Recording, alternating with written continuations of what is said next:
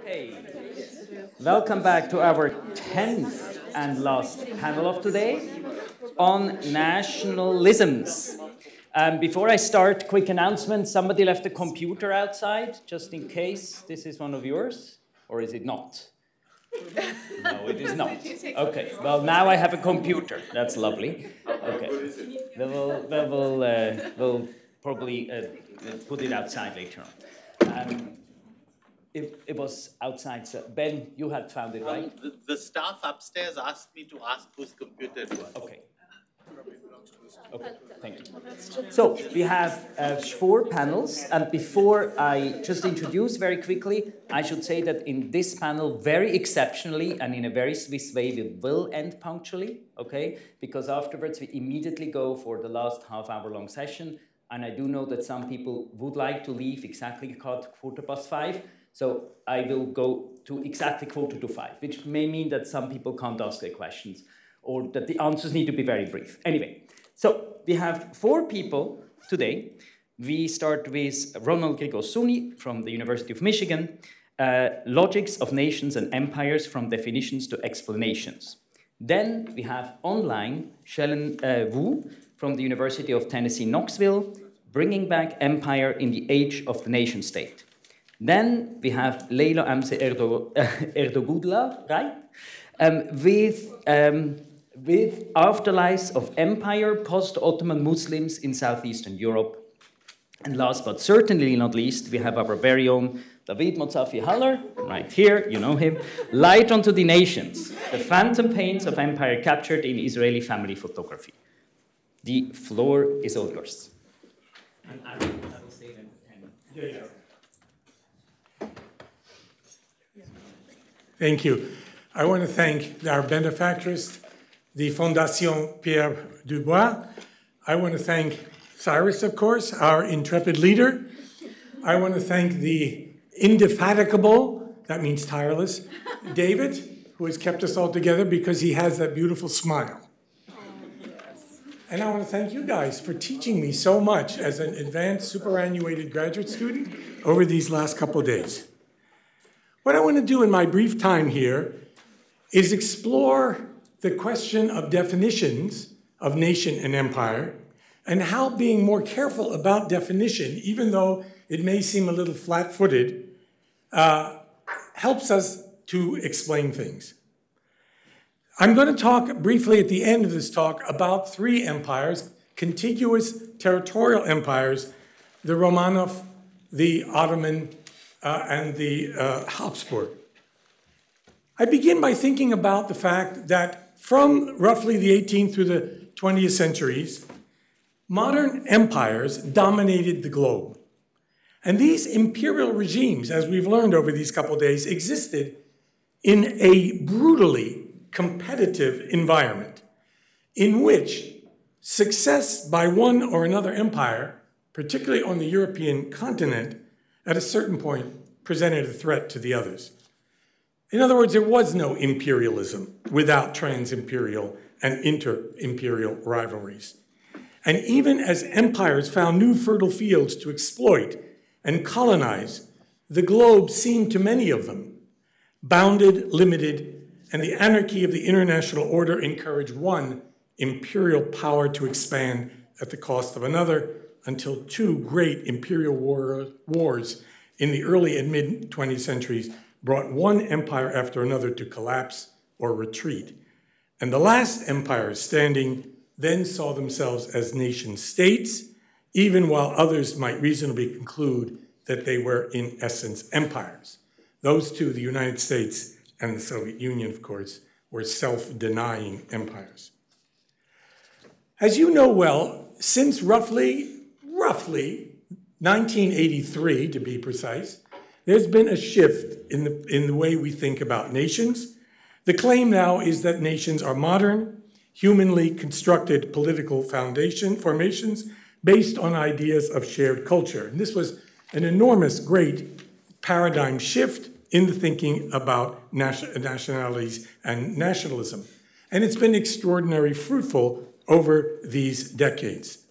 What I'm trying to do in the book that I'm writing called Forging the Nation The Making and Faking of Nationalisms is in fact to see how something which I call the discourse of the nation, a cluster of ideas about what constitutes the nation in our current 19th and particularly 20th and 21st century understanding of nation and differs from earlier uses of nation came together. How various tropes that go back to the Old Testament, like the chosen people, or an antique uh, Greece, like barbarians and civilization, were transferred, developed, and brought back, revived, often forgotten, but then part of this cluster of ideas that, that became dominant, particularly at the end of the 18th century with the French Revolution, when the nation was then said to be uh, commensurate with the people, uh, and then consolidated in a sense after the fall of Napoleon in what I call in my book the moment of the nation. The moment of the nation from roughly 1815 to 1848 is when that those ideas become more crystallized and become a kind of signifier that's going to then go on in, in a very familiar form to the present. In that moment of the nation, however, the idea nation was still contested. Kings were claiming they were the nation. Aristocracies like the Szlachta in Poland or the Hungarian magnates, they claimed they were the nation. But eventually, great uh, theorists like Mazzini and others consolidated the idea that it's actually the people following the French Revolution that make up the nation. So the nation, I would argue, in its full splendor, was only possible once there was a discourse of the nation cobbled together in this period.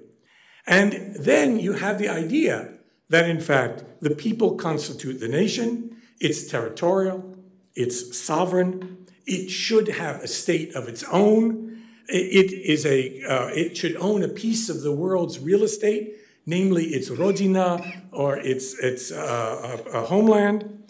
And it, it represents a kind of rational passion, an emotional or fervor, because the nation is not only strategically useful to people, but it is an affective community. As we're all aware, that makes it both salient, powerful, and absolutely dangerous. This emotion or fervor, this affective expression of national identity, is said in this discourse to be fully realized only in statehood, in territory, and popular sovereignty. Now, in the, this discourse of the nation, you could say, in a new way, and there are precedents to this, in a new way, culture determines politics.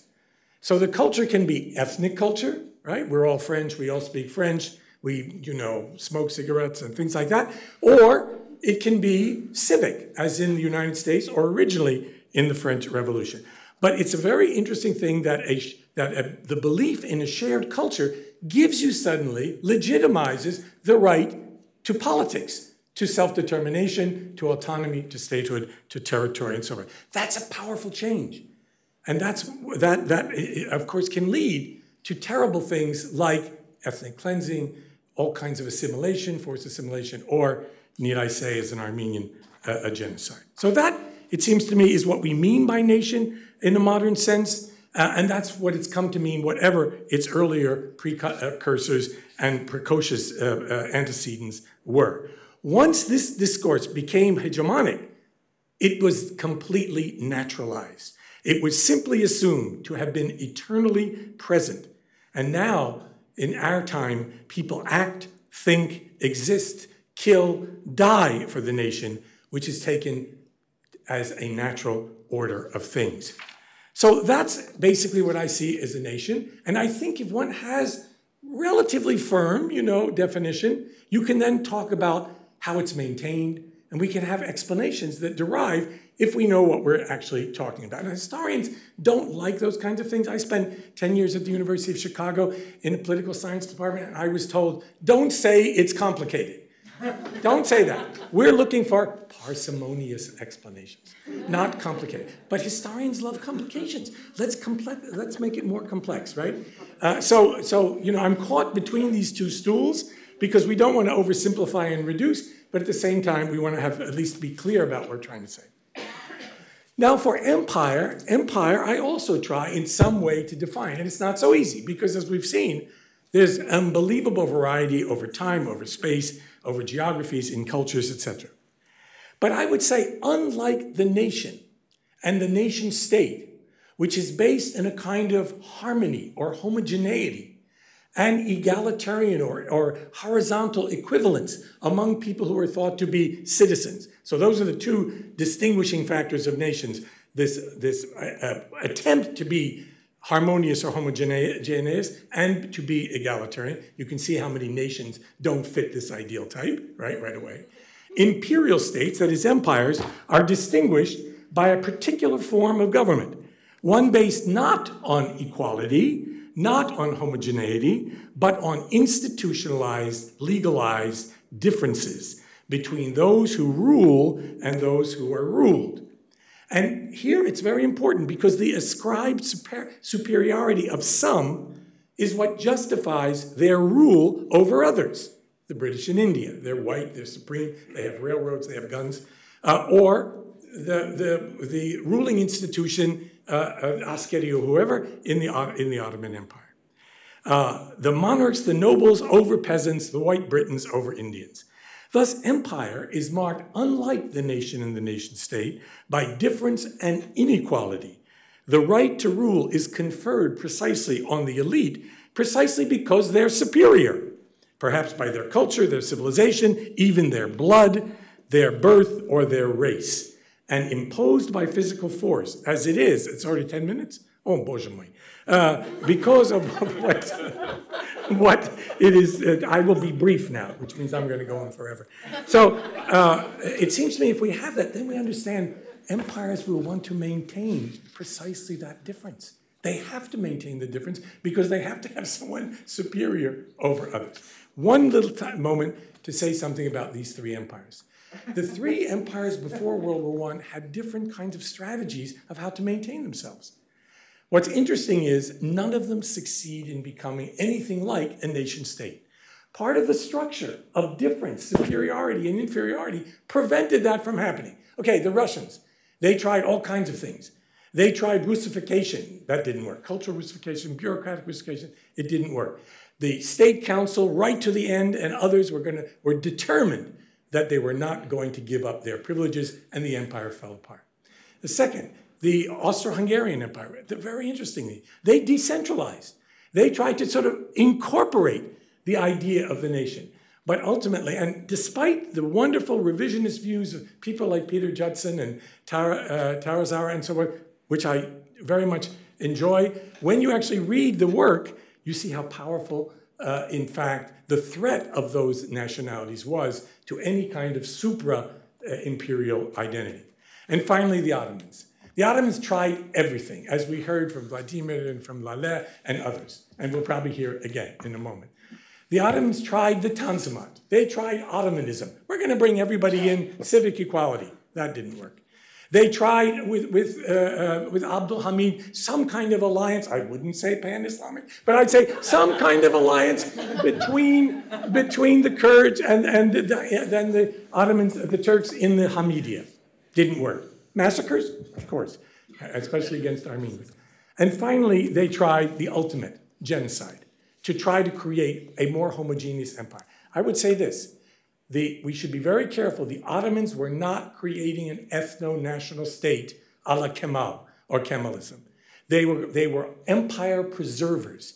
They were trying to keep an empire, but they were trying to keep an empire which was more Turkic, more Islamic, a kind of Herrenvolk empire in which these Muslims, and particularly Turks, they didn't even trust the Kurds after a while, were going to be the dominant people. And who were the victims?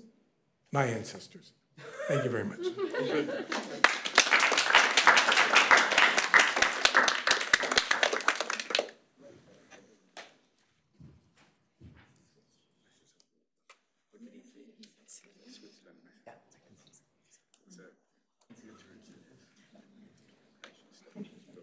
We can see you. We can see you. I think you can uh, turn on.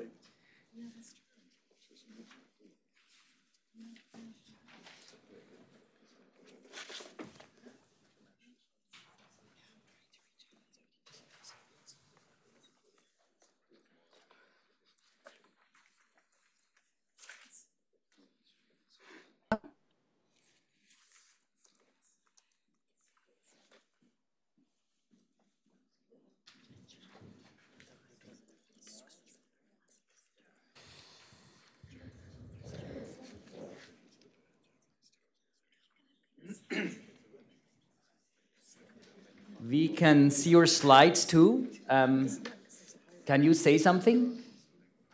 Hello? Yes, we can hear you too. Okay. Yeah. Great. Great. Well, thank you so much, Cyrus, for inviting me to this truly intellectually exciting event. And I hope to, I'm deeply disappointed to not be there in person. I hope to follow up with many of you since it's very clear to me that we are grappling with some of the same problems. So today I want to talk a little bit about bringing empire back to the age of the nation state. And my new book project, which I hope to have come out in the next year, um, the birth of the geopolitical age, global frontiers, and the making of modern China. The project started from this insight that how is it that China has preserved its imperial territories and reconciled it with the language of the nation state? And I argue that it's really this new geopolitical discourse which allows it to do that. Try to move my slide. Okay. So what I try to do is to show that as historians, are you not seeing my slide? No, we can see. Okay. So what I try to do is as how do we as historians make sense of various lives that cross political boundaries and successive regimes in many instances falling into the interstices between national histories, cross imperial boundaries, and political periodizations. And moreover, that these are people who, um, in in these technical fields of uh, so I am looking using the global history as a model because of the focus on connections but also these insights from network science to examine this period of history from the 19th into the 20th century as a series of hubs, both intellectual and also physical infrastructural hubs, with social scientists and scientists playing these connecting roles. And I focus on the fields of geography and agricultural science because both of these areas predated the rise of modern science, but also played important roles in the creation of the technocratic underpinnings of imperial discourse. So I examined things like Hokkaido in the 1870s, Chicago in the 1890s, Suiyuan, which is in northwestern China, and also uh, people like Horace Capron, Isaiah Bowman, Ellen Semple, Tang Qiyu, Takaoka Kumao, Max Sering, Paul Rohrbach, etc. So dozens of these figures, and they're all connected in very interesting ways because someone like Max Sering, for example, is uh, he is the student of Gustav Schmoller, which Mark Capellan's paper mentioned yesterday. Uh, this group of social scientists uh, with transatlantic ties um, but also, uh, so uh, one of the uh, this leading figures, academic figures in the intercolonization movement in Germany, but also someone who influenced Takaoka Kumao, who was a social scientist and agronom agronomist, who was a brother of the colonial director in Hokkaido, but then later on also studied uh, Japanese immigration to Brazil. Sering was also cl closely connected to international agronomist networks, including with Cornell University. And that's where Tang Qiyu received his PhD in 1924. Interestingly enough, in his English language works, he talks about intercolonization and encourages it as a model of development in China. But in Chinese, as I will talk about shortly, he uses very different language. So these are all these figures who are connected and intersect at multiple points in their lives and actually cross these imperial and national divides. Where I am particularly interested in agricultural science is the idea of the frontier as an experimental zone. So the first uh, use of experiment in Japanese occurs in 19, 1847 in a work on chemistry. So it, it includes illustrations of an electric battery. This is one of those works that is included in the category of rangaku, so meaning Dutch, so Western science. Within a few decades, the Japanese had coined a neologism using the term already exists in classical Chinese to experiment, 试验, but also adding this marker, this experimental zone, as a distinct location. So the Japanese began to build exper agricultural experimental zones on the frontiers of empire, so on the border with Korea in northeast China. But interestingly, so do the Chinese. And that is because agriculture is already a area of study for the Chinese elite. So in works such as the periodical Nongxue Bao, the Journal of Agriculture, um, which is published in Shanghai, you see uh, many translations, many directly from Japanese. Also, in certain cases, actually, uh, it was translated into Japanese from Western language sources. Many of this, the content is actually not all that useful, but in, when you look at the interest, this indicates also that there was opening across the country, not just in places like Shanghai, but throughout the country, these agriculture experimental zones, as well as the formation of agriculture societies. And if you look at the profiles of those who are involved in these efforts, you see that these are local elites who are participants in the revolution that brought down the Qing Empire, but also these are participants in educational reforms, and they're opening these agricultural and forestry experimental zones in places like this. In this case, the map is from the city of Dali in southwest China in Yunnan province. So what we see is this combination and also this cross back and forth circulation of terms. So in Japan, in the settlement of Hokkaido in the 1870s, the original word that is used is Tonden, which comes from classical Chinese. Tuntian, the use of frontier garrisons to settle these frontier areas. Another classical Chinese term that is also used is kaiken, so uh, land reclamation. The Japanese, by the end of the 19th century, coined this new neologism, shokuminchi, colonization and it circulates back to China, but it is not often used in Chinese in the early 20th century. And people are very clear about the reason why they don't use that colonization because they do not see what they're doing as the same as what the Japanese are doing. So they use this new term, Tunken, because claiming that it comes from all the way from the Han Dynasty, from early China. So using native examples, even though clearly they were aware of what is going on in Japan and in other parts of the world. What you see is that linguistically, very interesting new terms are coming in. So Japan, for example, uh, describes the settlement of Hokkaido as, you know, settling virgin land. And they get that from the American uh, the, from um, uh, from American sources. In China, this land, virgin land also gets to be a term, but it, it doesn't come from Japan, but rather from translations of Russian works. So Sholokhov, translations of Quietly Flows the Don, uh, is where this term virgin land comes from, 处女地. What we also see in is that this through these professional organizations, such as the International Congress of Geography, these ideas about settlement comes through. So here is a picture of Isaiah Bowman, who uh, is through the director of the American Geographical Societies, later on as the founder of the Council of Foreign Relations and president of Johns Hopkins University.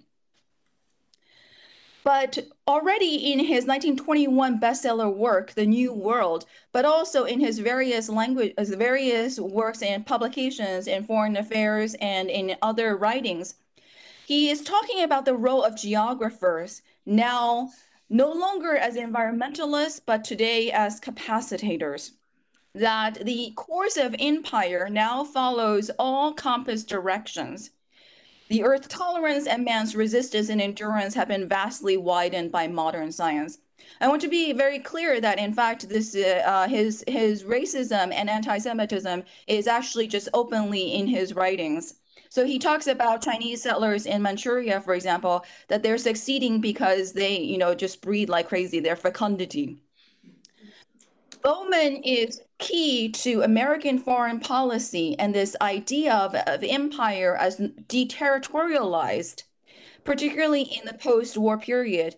And his influence is also can be seen in Vannevar Bush's uh, uh, this this this document that founded the National uh, Science uh, Foundation. But although Bowman corresponded with Chinese geographers and also with Chinese officials, um, so you see these points of intersection. But Bowman also failed to recognize what was happening in China at the same time um, and in the previous decades, which is a domestic example of frontier settlement that comes from people like the military official in the Northeast, Zhou Zuohua, who connects Chinese Tunken to the Han Dynasty uh, as a counter to Japanese imperialism and Russian Soviet imperialism. You also see circulating in Chinese uh, media various coverage of Japanese reclamation in the Northeast. In this case, describing the German settlement of Eastern Europe in 1940, uh, about Palestine. so there is attention to these global examples. At the same time, these domestic, domestic examples undertaken by warlords, in this case, uh, of the resettlement of the uh, of the northwest, the Suiyuan area, pushing back Mongols in this region, and of rural settlement plans. These are plans for these um, new villages, uh, gridded design, schools, settlement, factories, etc.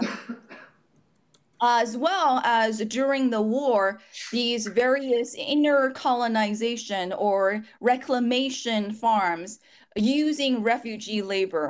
Um, I, I don't have time to go into this, but this uh, this was not terribly successful in part because of the difficulties of actually uh, logistical difficulties of during the war. But in after 1949, the communists take up the mantle of intercolonization and undertake in Xinjiang this Tunken now billed as a domestic example. Again not imperial not chinese colonization but rather borrowing from this imperial example. So it's not just a nationalist it's not just the political right but also on the left the communists who are uh, undertaking this settlement of these areas. In this case in xinjiang also in the early 50s including recruiting and transporting thousands of women so that they would marry the men who were already in in in Xinjiang to undertake and settle down and uh, reclaim these areas. So many of the, the at the in the early 50s, the gender ratio in Xinjiang was 160 to 1 of male female. So this is why they specifically transported women so that they would get married to the soldiers left over in this region um, and so, what I want to conclude with is this idea that um, linguistically, what you see is that there is a, a degree of evasion that what the Chinese are doing is not colonization because that's what the West, that's what Japan does, but rather that what the Chinese claim to be doing is this histor- using historical examples um, but in fact, when you delve into it, they are borrowing uh, from these from these other empires, and even figures who claim to have this to have this revisionist history. In fact, come from very elite cosmopolitan backgrounds. So the military officer Zhou Zuohua, for example, that I mentioned earlier, he attended Imperial Military Academy in Japan. Um, and the agronomist Tang Yu got his PhD at Cornell. So these people are all connected through these elite professional networks. So I'm going to end here. Thank you.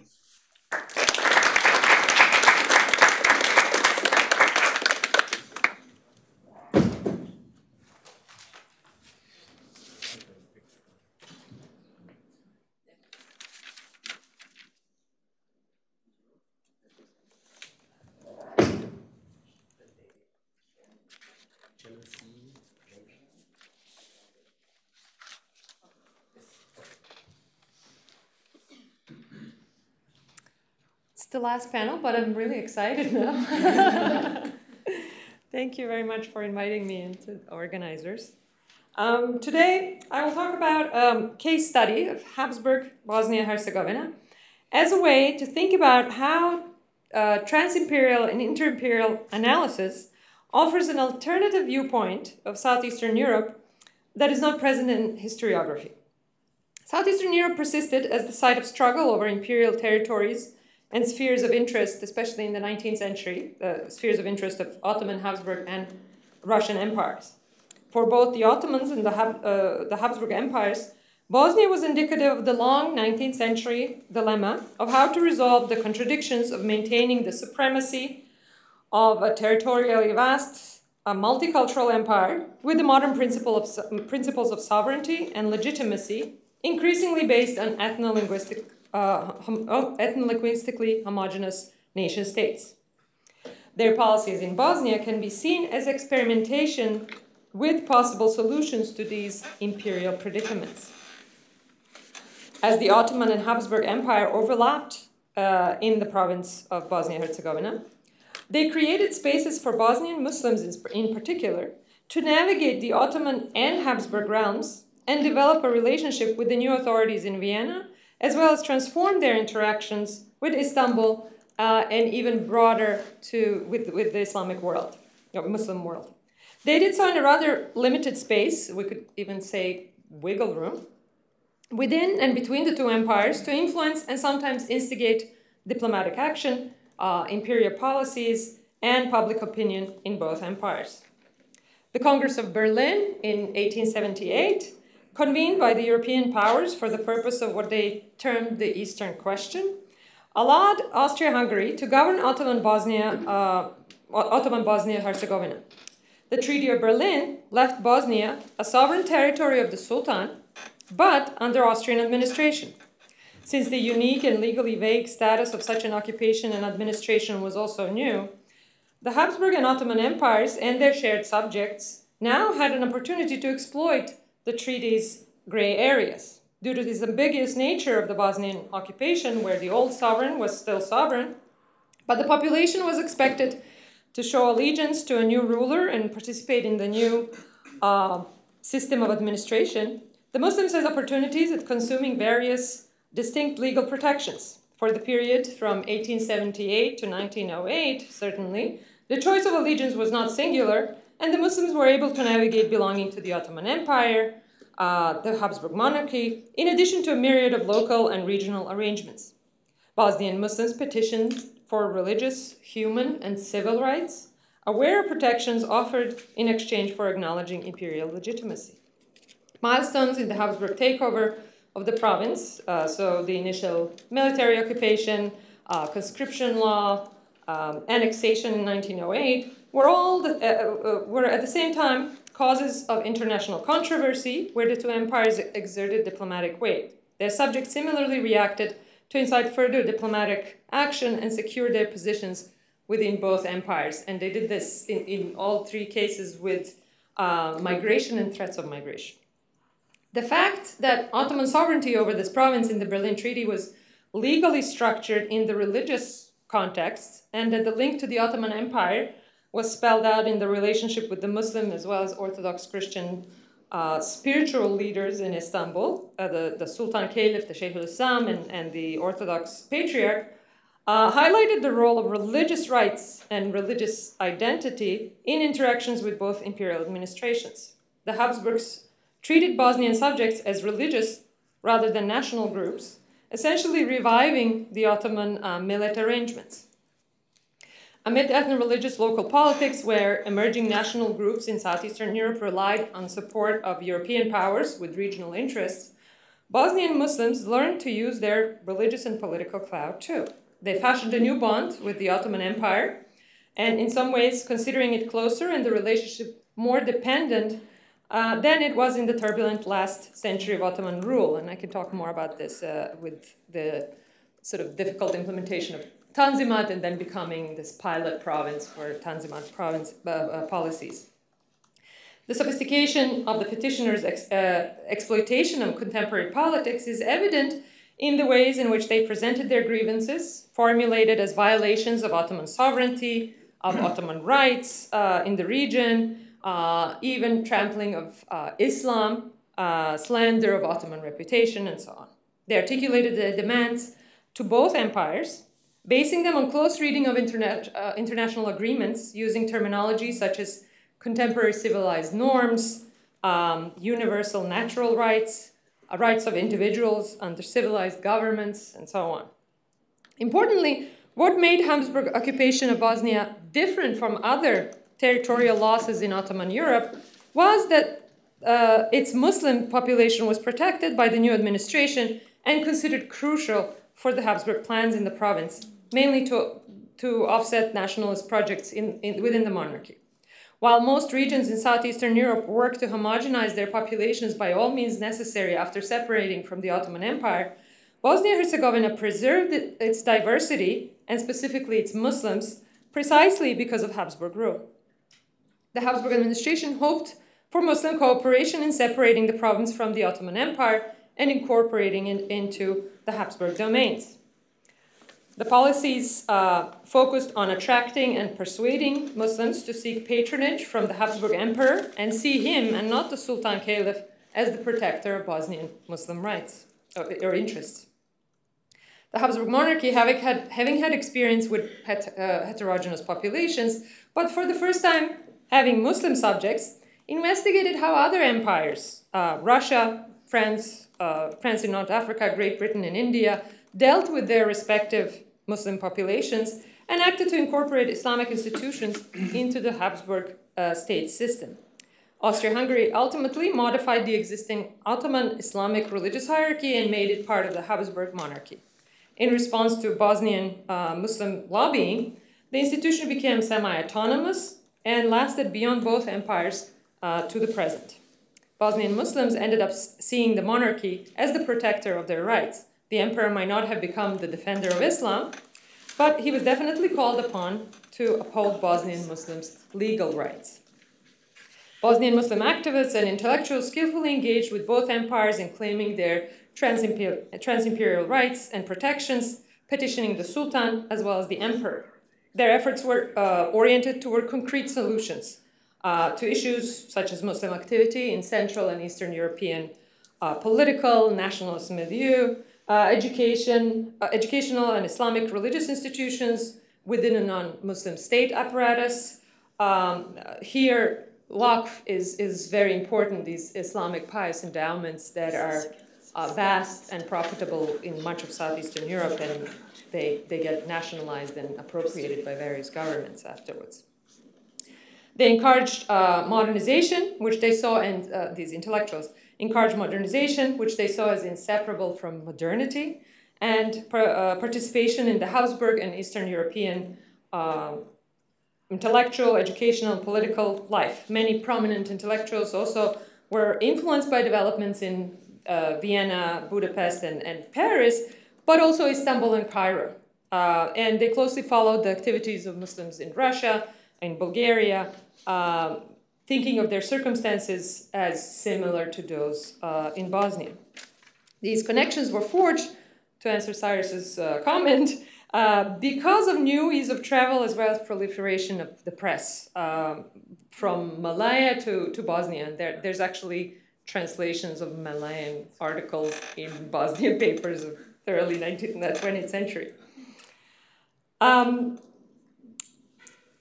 political and intellectual activity and the institutions they created, including something called the Islamic community and the Islamic educational establishments, uh, which are very important, were a product of these uh, inter-Islamic developments within transimperial, transimperial networks. And in, I can explain later how in historiography that's often presented as um, Europeanization, but it has very different origins. What is more, Bosnian Muslims not only drew on, but also influenced and shaped the broader Muslim modernist discourse. For example, um, discouragement of migration from Bosnia to the Ottoman Empire uh, that, that took hold during the Habsburg period were hailed in the Bulgarian press, uh, Muslim press, uh, as an example to follow. Similarly, there were calls in Egypt by specifically Muhammad Abdu, the, the Mufti of Egypt, to model the Islamic education, the, the educational structure, on what was created in Habsburg Bosnia. These considerations also help us envision Muslim modernity not only as a one or a two sided uh, account of European influences and Muslim reactions, but as a larger story of an interconnected trans-imperial world. All these Bosnian Muslim, uh, uh, Muslim institutions, political parties, religious educational organizations, associate, cultural associations, all functioned within the Habsburg uh, provincial system, uh, which was special in, in comparison uh, to um, the rest of the monarchy. But they also uh, incorporated Ottoman laws, practices, and symbolic ties to, to Istanbul, even names. Bosnian Muslim uh, publications portray themselves as part of overlapping global communities of Muslims, of Slavs, um, citizens of the civilized world. Um, these actors' environments uh, were at the intersection of imperial and national, as well as European, Ottoman, Balkan, uh, and Muslim intellectual trajectories, which are often considered separate and even contradictory, and, and they're also studied as, uh, as uh, separate. Yet the overlap of these affiliations shaped the way in which modernity was mediated and experienced by the province's people, deconstructing the historical boundaries between Europe and whatever, it, whatever its east is, uh, Eastern Europe or the, the Orient in quotation marks, was at any, uh, whatever, whatever it was at any time, uh, allows for incorporation of Islamic intellectual uh, history in the history of Europe and uh, contribute a dimension to, uh, sadly, still current discussions of Muslim cultural and religious compatibilities. Um, I'm finishing. So, trans-imperial uh, and inter-imperial perspective, therefore, lets us rethink the conventional historiography and disciplinary boundaries. So, uh, for much of the 20th century, scholars treated Muslims in southeastern Europe as anomalous remnant of Ottoman rule and the site of east-west encounter, uh, symbolic bridge, or occasionally physical site of the clash of civilizations. Contrary to these uh, historiographical assumptions, where post-Ottoman Muslims lingered on as recipients of imperial and national policies, or yet unable to adjust to modernity because they're Muslim, uh, by bring, uh, bringing these separate historiographies and sources together shows that they understood their predicament and seized the moment in all its complexity. More broadly, in rethink, rethinking this history as trans-imperial and inter-imperial history makes obvious that it is necessary to consider the Ottoman context even after its formal departure from the region and recognize the trans-regional connections and networks across empires that continue to be pertinent even beyond the demise of the Habsburg Habsburgs and the Ottomans. Thank you.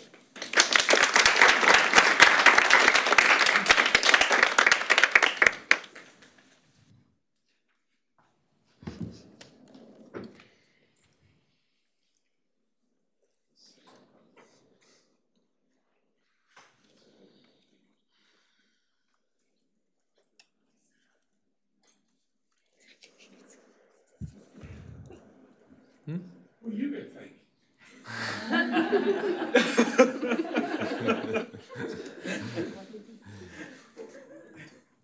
That's a question. um, um, um,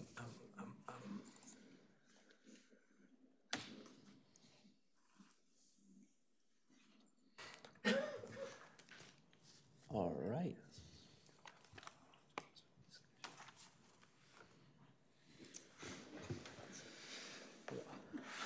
Lower the lights a bit. All right.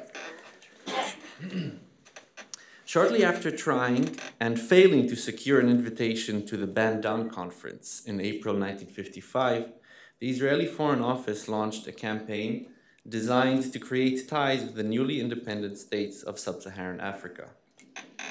Over the next few years, at the same time when Israel's erstwhile nemesis Gamal Abdel Nasser established the United Arab Republic, the Israeli Foreign Affairs campaign of containment of what they considered an existential threat represented by Nasser bagged a number of significant diplomatic wins. Starting with the established starting with the established African states of Ethiopia and Liberia, with which diplomatic ties were established in 1956 and 1957 respectively, Israel swiftly inaugurated official ties with Ghana in 1958, with Congo, Nigeria, and the Ivory Coast in 1960, and with Tanzania in 1961. Then the proverbial floodgates were opened. By the end of the first decade of decolonization in Africa, by which I mean 1956 to 1967, Israel had established official ties with 33 out of Africa's 41 sovereign nations. At the basis of many of the relations that followed stood numerous development projects in agriculture, water management, frontier settlement, youth movements, military training, arms sales, healthcare provision, and infrastructure construction that African governments commissioned from the Israelis. This process of decolonization and ambitious nation building also coincided with the unprecedented availability of photography. So, what I want to do today is use photographs taken by one Israeli family, the Gershonis, during a relatively short stay of several years in Accra, Ghana, during the late 1950s and early 1960s to explore what I believe may be a productive entry point into some of the discussions we've been having during this conference. While this effort is still very much in its infancy, I want to share my working hypothesis with you now. Namely, that in these photographs we find a mix of the kind of gaze and scholars that writers such as Patricia Hayes, Drew Thompson, James Ryan, and Teju Cole had identified in their analyses of colonial European photography, as well as a new modernist aesthetic, one that relied on tropes such as khakied state officials and heavy construction equipment to depart a distinctive nation building technocratic ideal. At the same time, the Gershoni family album also contains many photographs that depicted leisure activities, for want of a better term. In those photographs, I find the hegemonic ideal of middle class post war consumerism, one that emitted chiefly from the United States of America. The Gershonis, photographed here in the mid 1960s, mid to late 1960s, let's say, this is calculating from their age, uh, were part of an upwardly mobile social group that rode the development industry straight into the crossroad of empire and post colony. Their photographs tell us a story about how the ascendant Israeli middle class navigated this decolonizing world, one where the colonial color line meant they lived in segregated neighborhoods, much like Ulrike's paper yesterday showed. That same color line meant that the Gershonis enjoyed the material comforts and cultural capital of whiteness during their stay in Ghana. These photographs then are an account of how they tried to play the part. Uh, a part we must admit that they did not invent and which they didn't entirely adopt either.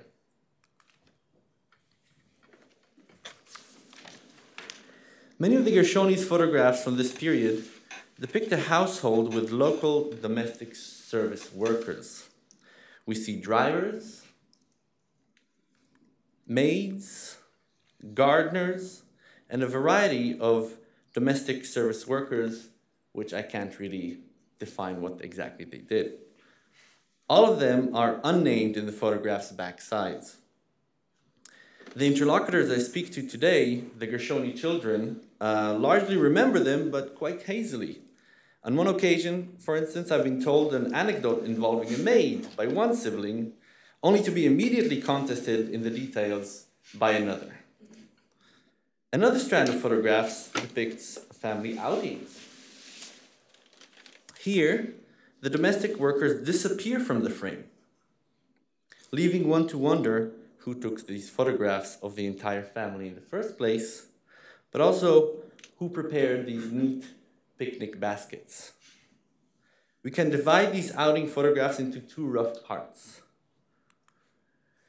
One, which is picnics at the park or uh, sorties to the beach, where any detail that might betray that we are in Accra, Ghana, uh, is nowhere to be found, actually. The second part is what I might call um, touristic excursions. There, we do so see Ghanaians, but playing roles you could only call the colorful native.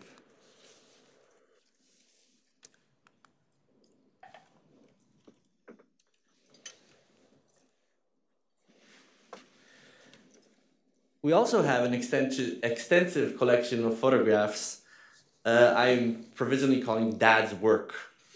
Um, here, the family poses in front of shining new bridges or in front of heavy construction equipment, otherwise, in front of um, major landmarks in Accra, Ghana of the time, such as Kwame Nkrumah's statue here or the Parliament House.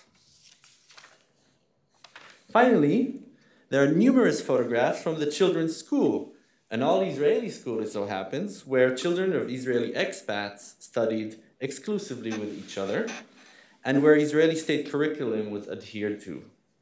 Photographs in schools, however, were taken on rare occasions. Uh, for instance, when Foreign Minister Golda Meir comes to visit, or uh, for instance, and no less rarely to be, uh, as a matter of fact, when Ghanaian kids are invited for a highly publicized visit. So, let me switch back to the home slide. A desktop. What might all this have to say uh, about trans-imperial or and inter-imperial history. Uh, and why have I chosen to call my talk today the Phantom Pains of Empire, besides the fact that I think it sounds cool? uh, besides, uh, perhaps we can follow what is now, I think, a conference tradition and resort to leaving you with another C word. Uh, the one I'd, pro I'd propose with regard to the relationship between nation building projects and the empires that often preceded them and is relevant to this case here of the Israeli development workers. The first wave of the Israeli development workers is cannibalization. In both what it chooses to depict and what it chooses to ignore, the Gershoni family album evokes a nation building project within a colonial world fashioned by Europe's empires. The focus of the entire family rather than as most imperial biographers do, or historians working on imperial historiography do, um, most of uh, imperial biographies do a very androcentric kind of study. That's what I find. They focus on men, they focus on what men did in their work, and men are depicted as these vessels of information and knowledge that somehow magically transports from one place to another. In focusing on the family, um, this kind of ideas can come to the fore. Um, this idea that there was this duality, this simultaneity of empire and nation state, this cultural cross currents in which the Gershonis took their first steps in what Christof Dejung might have called the global middle class. Uh, although I believe these people were middle class, they were certainly not bourgeoisie.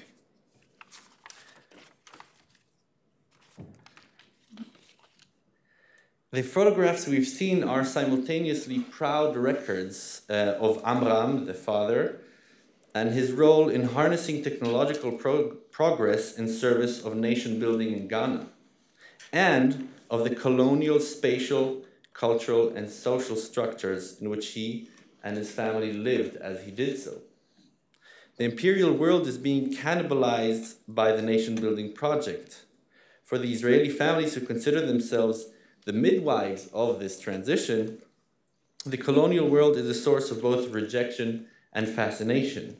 As, as I've written in greater detail in the paper I've presented in the last Beer Pierre du Bois conference, uh, they consciously fashioned their own comportment um, in contrast to what they seemed, what they thought of as the white European colonial official.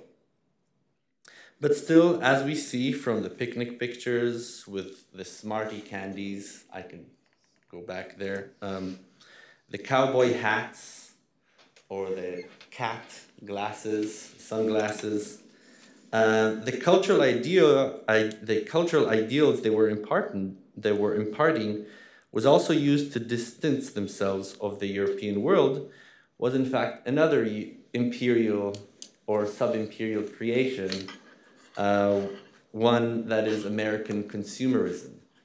Um, and that make another C word, and I think that's a bit too much. Thank you.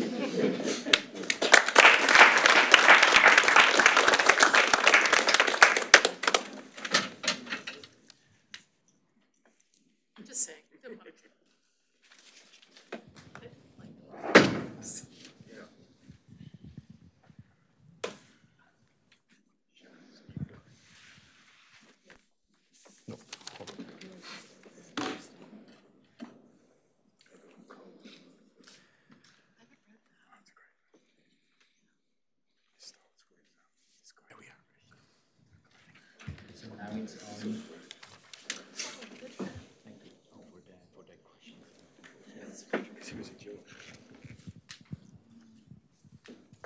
Yes. Okay. So now she sees me, or she sees the room. She sees now you, and now she sees the room. Now she sees the room. Good. Okay. She sees the room. Good. Okay. Uh, well, thank you so much. Fantastic. Um, let's get started. Uh, let's start with Ulrike.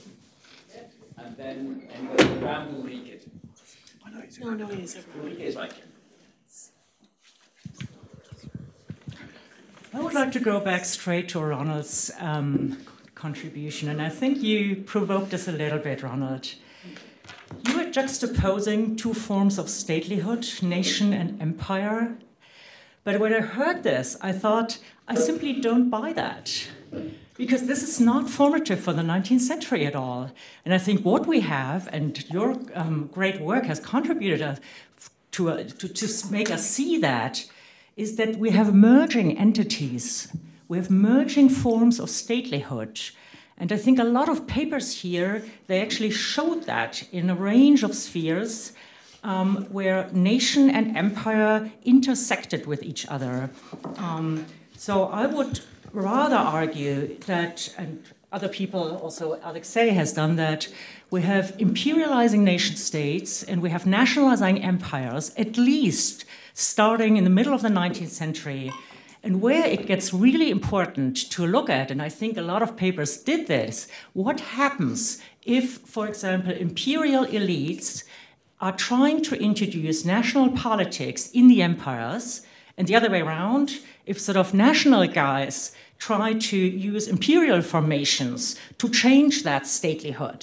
And it's, it's, exactly these sort of interstitions and sort of mergers which are of high interest. And I think we saw a lot of these papers, you know, exemplarily doing that. But I simply don't buy that anymore from the 19th century to totally sort of, you know, uh, divide between nations and empires, because I think one way of trans imperializing empires, one of the many stimulating ways we have heard here, is to see what makes imperializing nation states compared with um, nationalizing empires. Um, who else around Ulrike um, would like to have a word right now? Okay, in this case, let's have um, yeah, Alex and uh, yes, please. Let's start.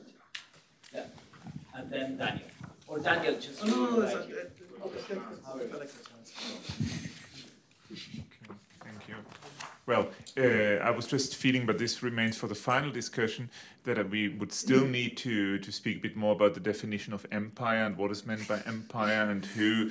Uh, well, this is, I, I find it very complicated and I feel more and more uneasy about that. But I have a question for David, rather, that has to do with uh, this idea of uh, whatever global middle class. Because I was just wondering, I mean, uh, of course, you say that, they, that these. Um, Israeli and expats in a in a newly independent state they they uh, refer to to colonial uh, to, to colonial items and items that are linked to the colonial administrator. But I was just wondering. I mean, uh, I'm not a visual historian, and uh, I may perhaps not have seen that many photographs, although being interested in Ghanaian history. But um, I wonder. I mean, if the if the engineer uh, were either I don't know, someone British who already was in the colonial service, but also someone, a, a Ghanaian engineer trained in these years. I think that many of the behaviors that were photographed would be the same. Uh, so the question is, what would that tell us? I don't know. I don't want to say that your case is not special, uh, and I think there's much to be to, to be done about that. But still, uh, it feels a bit like there might be something that doesn't exclude uh, the new national elites either. So um, I don't know what you think about that. Okay. Um, now I've got a question that is primarily for Leyla, but in a way it also relates to Ronald's uh, um, presentation because I mean it's, it's a fantastic project, and I'm interested in you know what what you spoke about in the way that the uh, after the the uh, you know occupation and then later on the annexation of, of Bosnia, how Habsburg officials seek information and seek to learn from other empires. So that I, I can see that the value of of doing that and how something like I think from what I know about the historiography, a lot of it with regard to Bosnia and the Habsburg monarchy gets seen as a problem in international relations rather than an issue actually for for for officials, for policy, for ruling over different populations. So I can uh, certainly I, I find that an exciting project, but I was wondering also how we can look at this in terms of the uh, historiography of dealing with nationalism in a multinational empire, of dealing with different populations, um, and the kind of challenges that, that the dual monarchy experiences at that point in time, which then relates to, to, to the other presentation. Uh, and I'm thinking about this in particular. I mean, you said, Leyla, that, you know, on the one hand, of course, there are very significant challenges in terms of ruling over diverse populations, the centrifugal tendencies within the monarchy at the turn of the century. Um, but you said what is different is the kind of question of you know religious minorities having a Muslim population in this context. But of course, it's also this is also the period when you know in the Austrian part, the Cisleithanian part of Habsburg uh, Austria, we can see the rise of you know political anti-Semitism as a really significant force, and how the question of minorities that are not primar- primarily defined in national terms suddenly gets put on the agenda as well. And you know, like Austrian leaders, and uh, you know, many of them are a bit you know uncomfortable about Lueger and uh, and, and so on, and the, and the impact that. Uh, Lueger and Schönerer and so on have. So I was wondering whether there's a way of also framing this in terms of a contribution to the kind of Habsburg literature and dealing with that, that kind of story where, where the Bosnian, as far as I'm aware of the literature, the Bosnian part barely gets, gets covered in, in, in depth, uh, certainly not. Uh, thanks. Let's stop here and then have a next round later, please. So, uh, first of all, I agree with you completely. That is, uh, I always tell my students before you give a talk, don't make any excuses right? So, but I read the first three pages of this paper and then was told to stop. So here's here's the strategy. This is the strategy. Was can we define what we mean by nation in an ideal typical sense, right? A definition, and what we mean by empire, and see how those two things might work as a spectrum in which there'll be all kinds of, in the real world, complex interactions between the two, precisely the way you said. Nationalizing empires, that's what I think ultimately, the, in some ways, not ethno nationalizing, but nationalizing, the Ottomans were doing, and so forth. So that's, that, that's the concept. But as uh, Leyla said very much at the beginning of her talk, there's a funny kind of effect of what this discourse of the nation, powerful as it is, transnational as it is, does to empires, right? And then you have to test each case to see is it real nationalism doing this, or is this language of nationalism, this discourse, which others are trying to adjust to, so that, that the Russians think, well, how, how can we nationalize this empire? What do we do? Some want to do it, they don't do it very well. Others cannot think of getting rid of, of the diversity, uh, of finding some civil explanation that will cover them all, of really Russifying or ethnicizing the whole empire. So I absolutely agree that what, what this is, is about is that there, there are these two different ways of thinking of politics and ways of ruling, and they're totally in con- contradict, contradictory to one another in some sense, at least at the, as, at the, the political and discursive sense. What you actually have is all kinds of hybrids in between, right? So that, and, and I'll say one more thing, maybe you will explain this. I also see the Soviet Union as an empire, right? It's very important to think of the Soviet Union as an empire that's about diversity, all kinds of institutionalized inequalities, some people, the nomenclatura, superior over others, etc. The Ottoman Empire, very much so in a similar way. And what's very interesting is how do those two empires, the Ottoman and the, and the Soviet, end? It's the core that leaves. in other words, it's Russia that leaves and destroys the empire. And it's the Turks in the form of Kemalism that ultimately pull out and leave Istanbul and the Sultan hanging, right? So very interestingly that, that the appeal to one or another of these, you can call them ideal types or discourses, has, has drastic effects on whether or not you can maintain these odd hybrid nationalizing, uh, imperializing efforts. Modern nations today, all over the world, are like mini empires, right? They don't, they haven't achieved these impossible utopian goals of total homogenization and egalitarianism. It's just, it's a utopian project. It's more utopian than communism. Sorry to say that.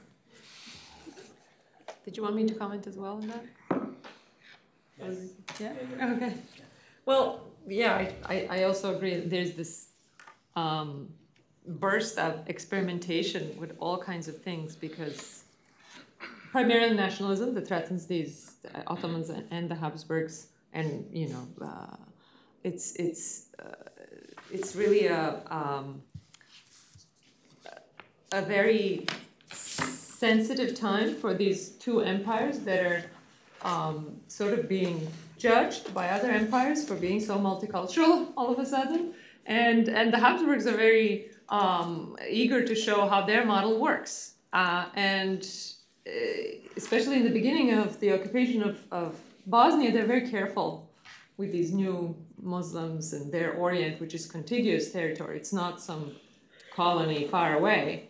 Uh, and but they, they still can't they don't treat it as uh, the other provinces so uh, and the treaty limits uh, or, or, we could say limit but also opens new ways of thinking about how to treat this new population that is also i mean the province itself is is is mixed uh, religiously mixed um, so uh, it's several layers of different diversities that they're, they're, they're dealing with. Um, and these, the Berlin Treaty and the, the, subsequent agreement that they have with the Ottomans is kind of vague. So I'll, I'll give you an example. They, um, and then this is also to your uh, uh question, um, when, uh, because this uh, religious connection to Istanbul is um, in, the, in the treaties is enshrined as unimpeded, and you know the, the Austrians as local administration will not interfere into in this, uh, the Ottomans continue to treat it as their province and they appoint a mufti. And, and the Austrians don't want another administrator from the Ottoman Empire coming in, even if it's a, a religious uh, figure. So what they use is an example of Tunisia. And they said, look, Tunisia, it's the it's it's the the local uh, the bey who appoints the mufti. So we're just using your example and your practice to appoint our own mufti here. and what, what they do is kind of a compromise. They appoint the existing mufti of the capital as the mufti of the province. So there's kind of like not offending the Ottomans completely, but also not letting them appoint anyone in the province. Uh, and you know they can do that because it's not very it's not clearly specified in this in this agreement, and there's this heightened reading of these agreements and uh, by the empires, by the empire's lawyers, but also uh, the population itself, uh, the, the, the, ver- the, various groups that want to kind of push for their uh, interest and uh, propose a different reading and then lobby with both empires for, for these readings. So, um, yes. Uh, and the other question was about um, uh, the dealing with populations.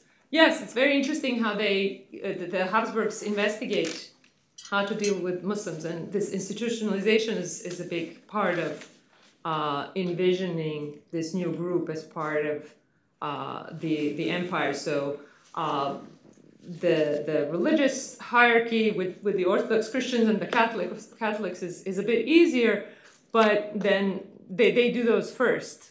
Uh, and, and then they invite the Muslims, well, don't you want to have this nice title of Reis ul which is a, a newly kind of invented title, but sounds really good.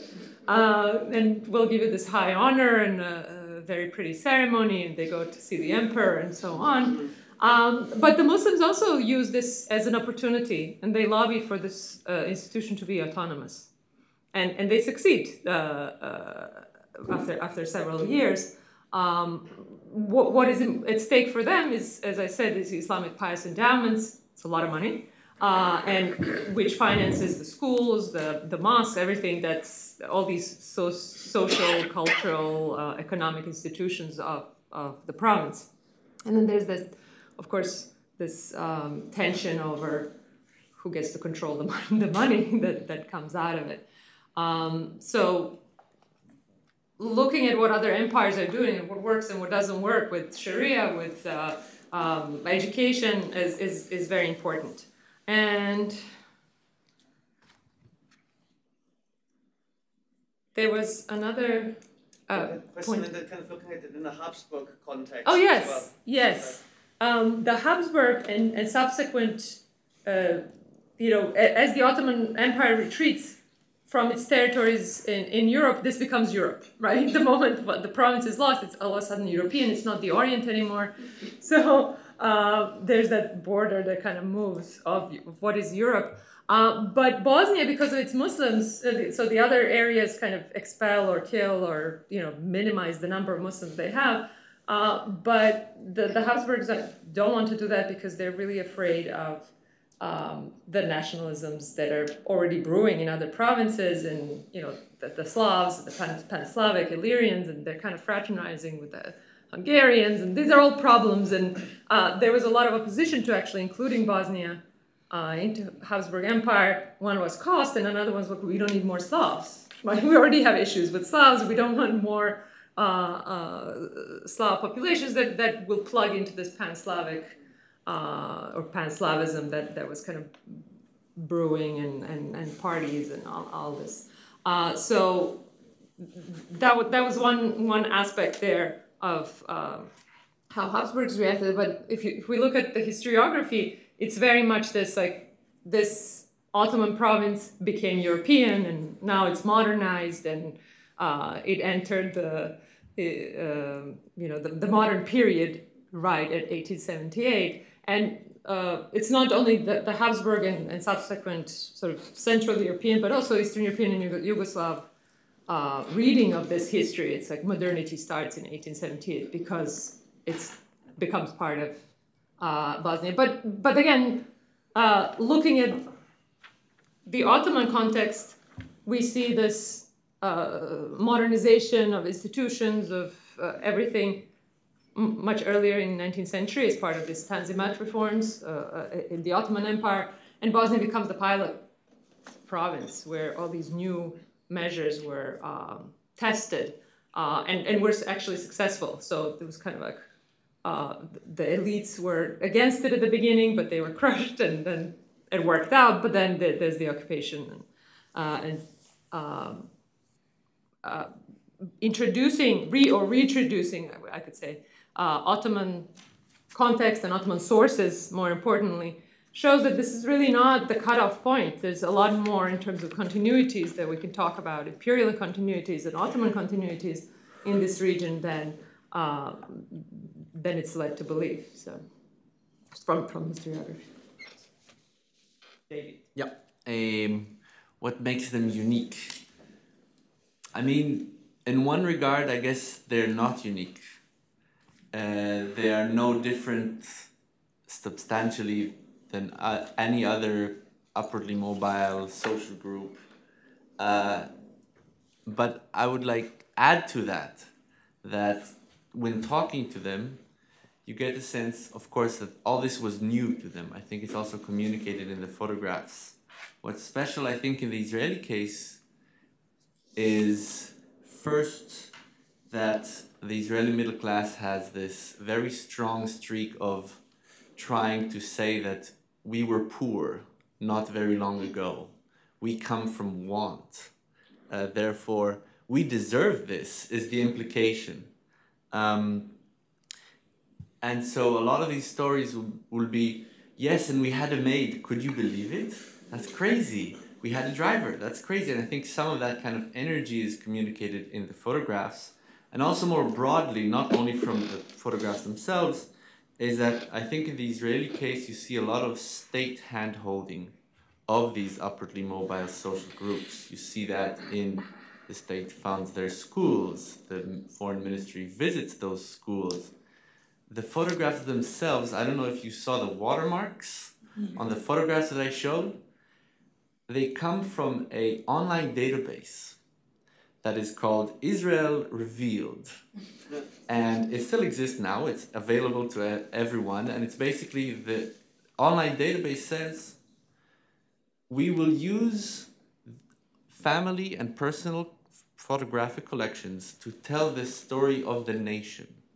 So, yes, their lives wouldn't have been qualitatively different from, say, for instance, Yugoslav uh, experts many of whom were also in Africa at that time, many of whom were also trying to wear khakis and say, We're like you, we're socialists, we're going to build a new world after the colonial bastards are gone.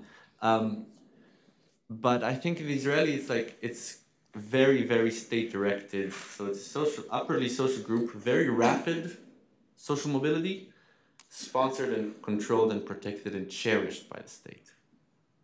That would be what I say. Could I ask so just on a question too. Yeah.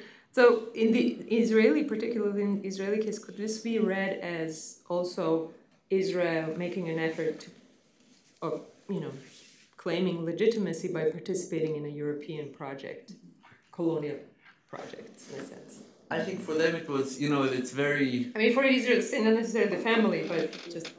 It was a very kind of sense of being, you know, what Homi Bhabha was like, white but not quite right, right, right. Um, for them, it was a sense of we're in an exclusive club now. We are the developers. You know, we've developed ourselves, and now we can develop others. So I think there is a sense of yes, of of achievement.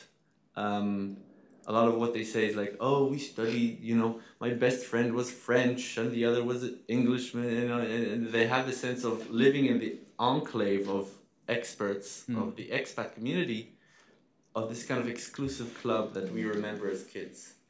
Uh, so yeah, I think that energy is definitely there. Now, I think there, there was a question for Shellen, right? So, uh, uh, Shellen, please.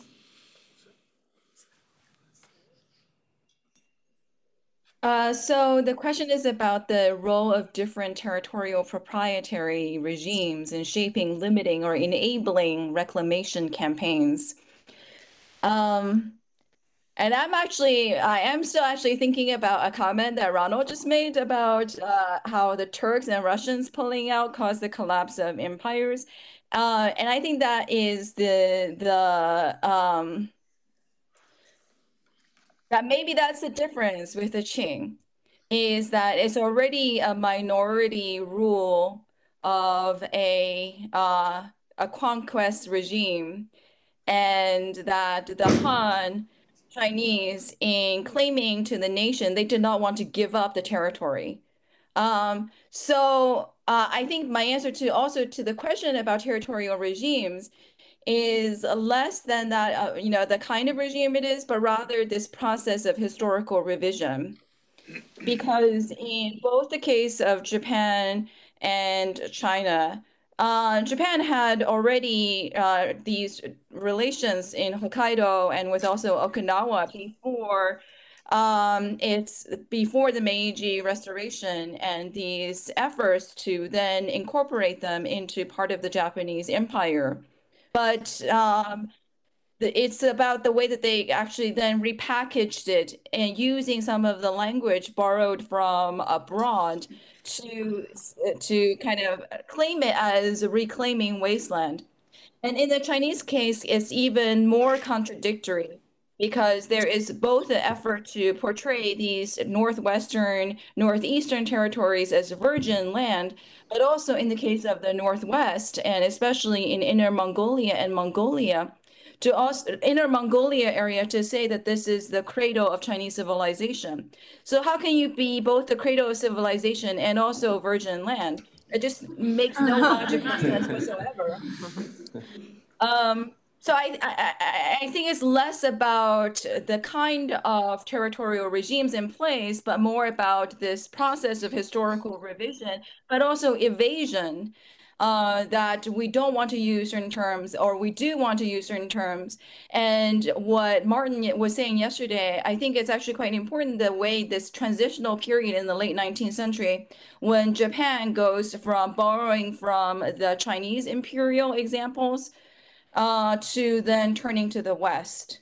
Um, and in turn, kind of trying to erase that the fact that it, it, it, very much still in the early 1870s modeled itself after the Chinese imperial example. Thank you so much. Now, we have seven questions. I won't take, I won't take new ones. We have 20 minutes left. Okay, so I want, if possible, each question to be 30 seconds long. Just be very fast, because these guys here have another 15 minutes to go. Otherwise, it won't be. I start with a question online, and you can go to Anne-Isabelle, who sits right there on the back. The question is from Moritz for Shellen. Let me move here. Um, I really liked the paper because it redirected attention to the charged use of language, terms, and traveling concepts. Describing a rural territory as wasteland was already a deeply colonial move in British India, with important implications for land ownership and official claims to new territories to be made productive.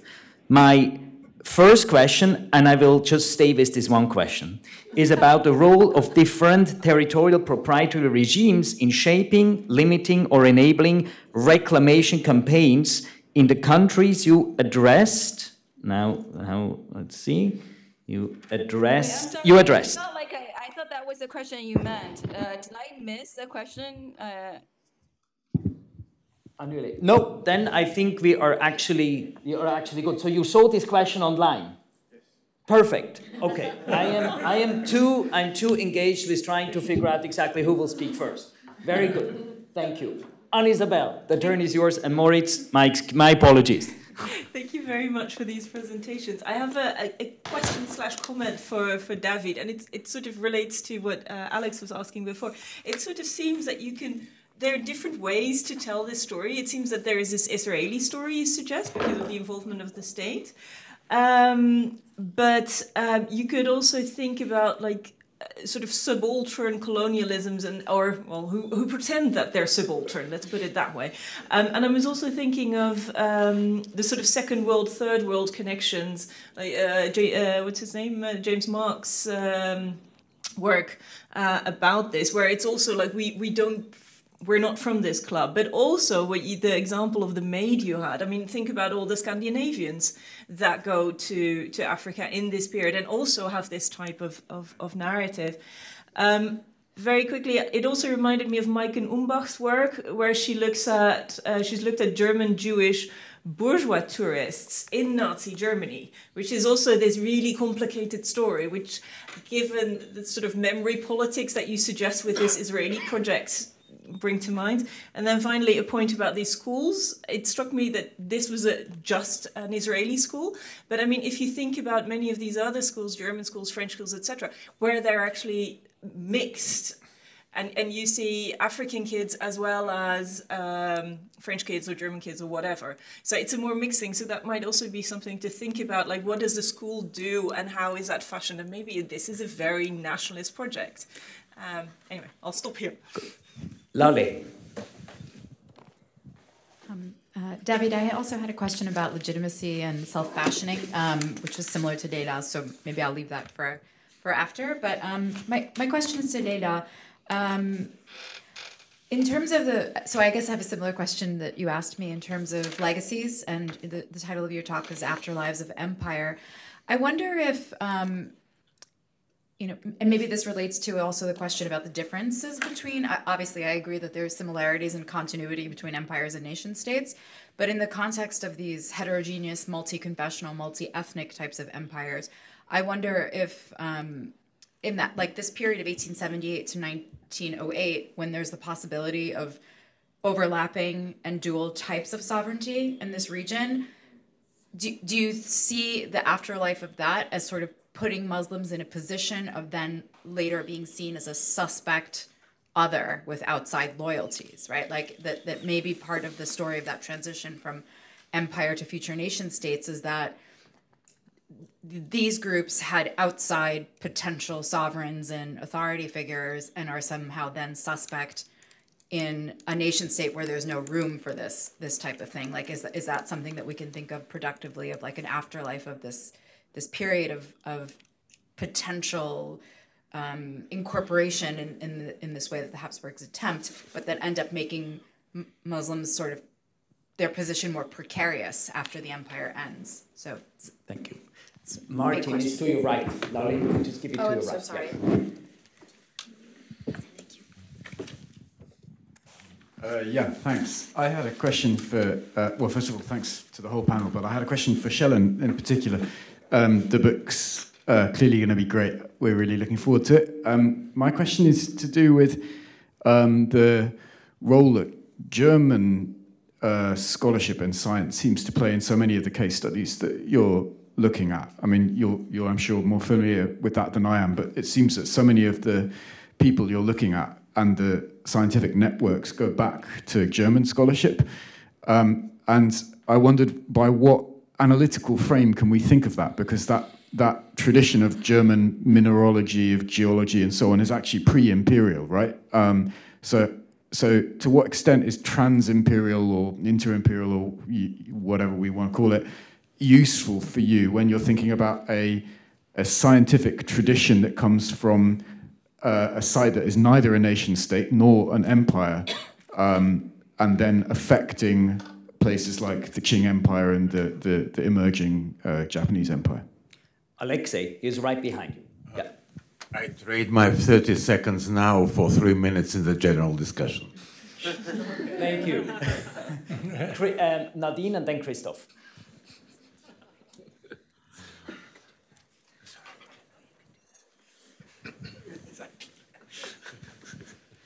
Thank you. Um, my question is also to Shellen. Um, and I thought, in a way, one could also frame your um, example of frontier settlements as a form of horizontal expansion. And as you being the author of sort of Empire of Coal, I also wondered how you would see sort of this frontier settlements in relationship with sort of a vertical expansion, namely coal, when you talk about this geopolitics and the age of sort of geology and so forth. So I was wondering how these two sort of would interlink or are interlinked, and then also what you would gain from a trans-imperial approach um, approaching these sort of various forms of expansion, if you like. Thank you. And Christof is right here.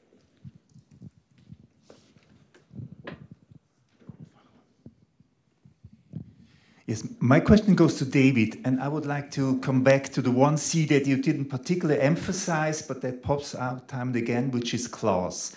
And I wondered whether these uh, phantom uh, pains of empire were not actually a middle class thing, because I, I mean, you, you, as you rightly said, I mean, this, this family always was not bourgeois, but I mean, their lifestyle in Europe would have been pretty bourgeois with maidens and cooks and chauffeur and whatever, but it's only something that they could do in the colonies. Mm-hmm.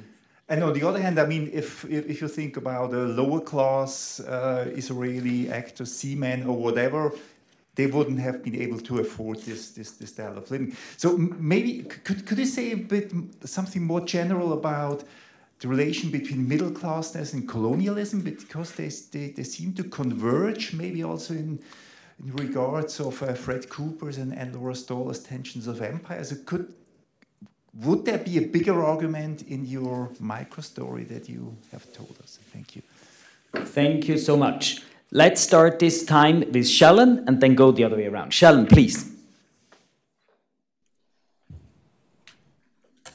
Um, so thank you. So to address a question about German scholarship, we're talking about a period when you see the professionalization of these scientific disciplines, as well as these international congresses.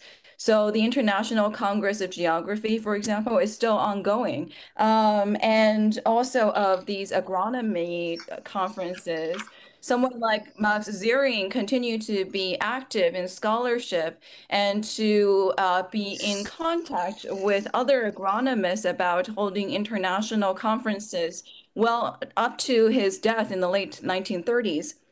So I see that is in a way that we need to be maybe more flexible about how we consider these uh, categories, spatial categories, as well as temporal categories.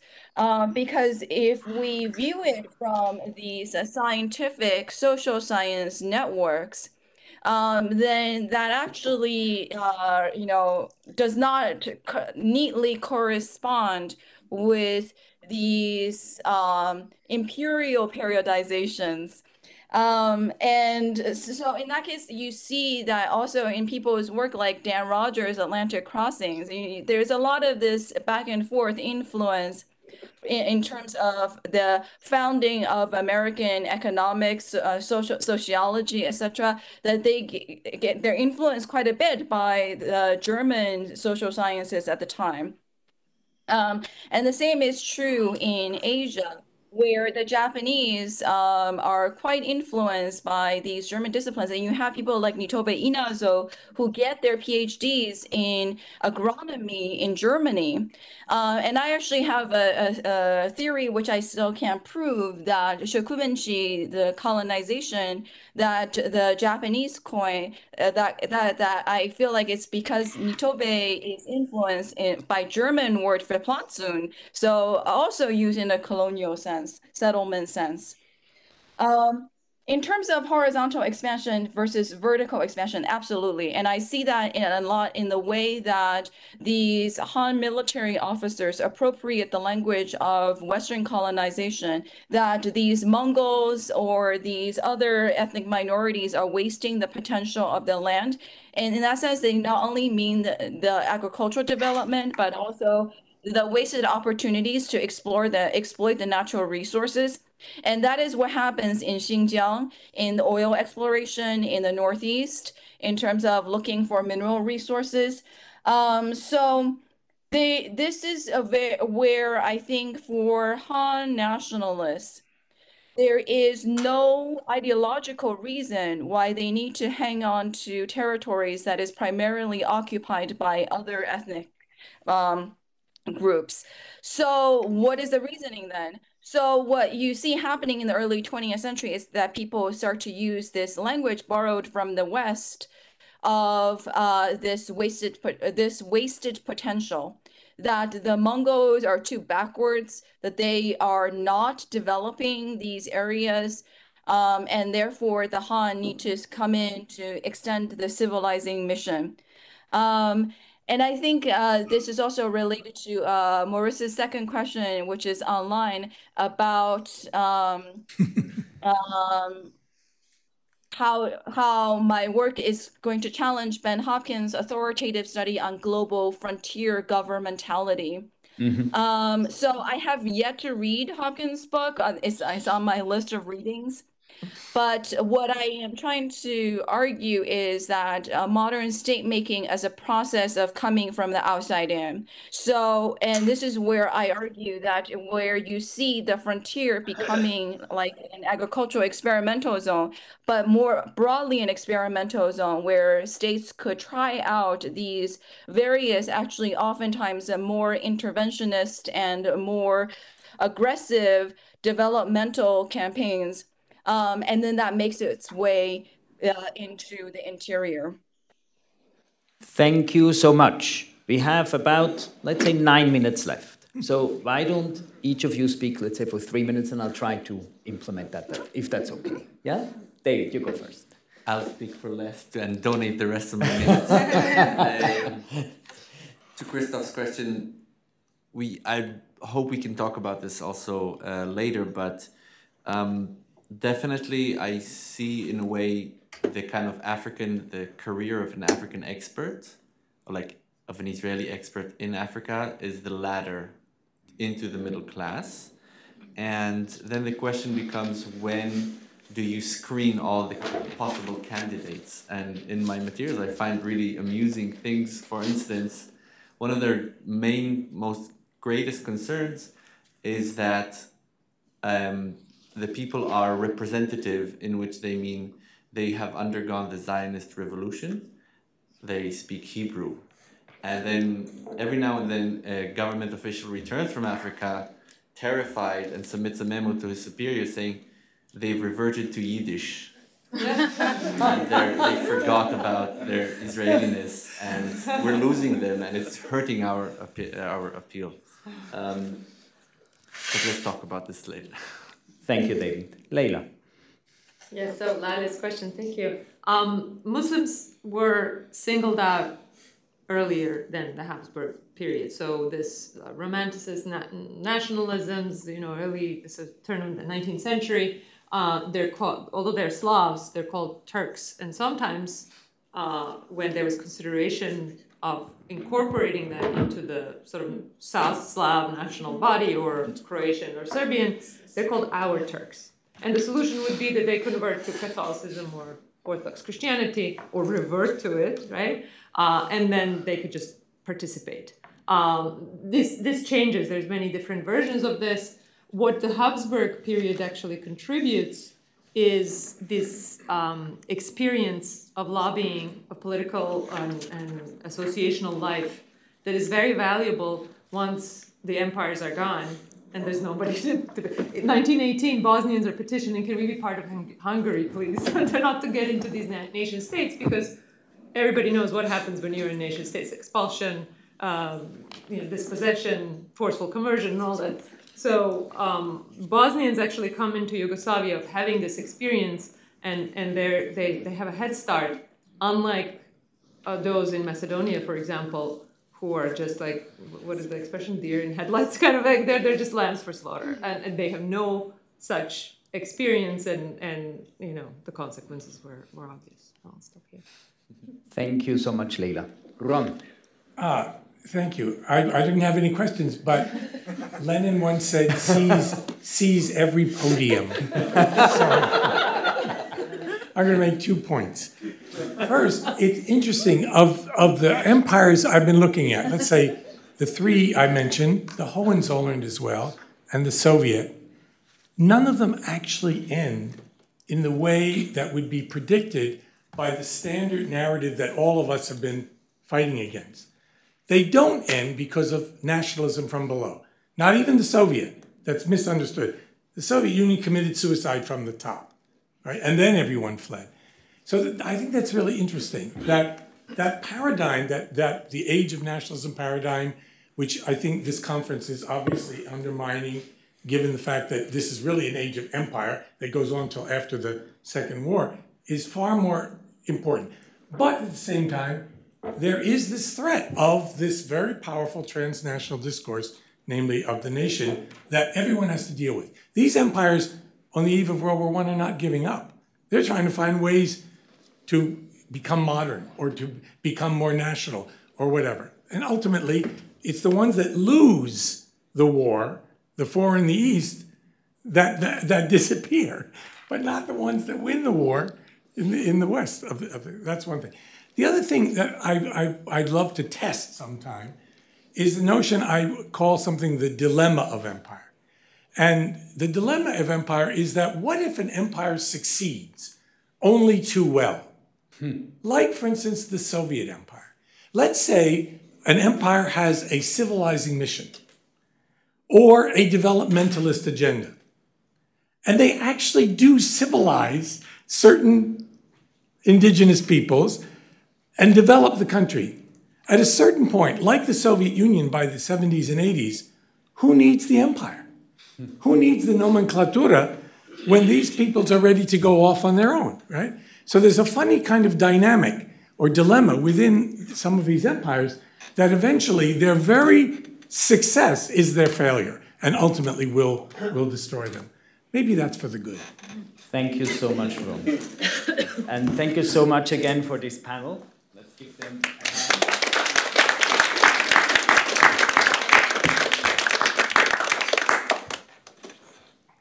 And now for something entirely different. um, let me actually turn the thing now as you're going to sit. Okay, so we have, we are perfectly in time, right? I turn it around. Yes. Okay. Good. Yeah? Okay, wonderful.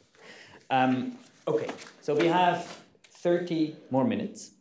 Um, we are about 30 people, uh, for which reason I would suggest that, and I would assume that most of us have something to say, that each of us really tries to keep to one minute. Otherwise, we will go. I mean, we'll just we'll, not everybody will be able to speak if we don't, right? And those who go first will have, you know, a sort of an unfair share as it well.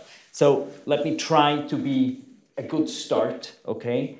I want to make, let me just make two points very quickly to start with, so the general points, right? The first concerns all these C's. I think on some level they can be compared, but I also think on another they refer to different things. Let me give you the basically example of competition, cooperation, connectivity, and they're starting to talk about this, and I want to talk more about it, right? It seems to me, I'll just throw this out there, that competition and cooperation refer to the effect of a trans-imperial relationship and its meaning that it has for its actors, while connectivity refers to the form and the way in which these happens. And these are somehow different things, right? Second point, and then I'll be done. Social worlds. They are really different social worlds that we can see taking place trans-imperially. I think we need, and we have talked about this, right? Aristocrats, traders, laborers, and we can look at them and think about them in really, really different ways. Also archivally, as Martin so beautifully pointed out. There's, of course, much more to say. I'll stop right here. So I'll try to um, do the maître de cérémonie. Who would like to start? Let's start with Alexei, who gave up his right. Very good. And then we'll go around.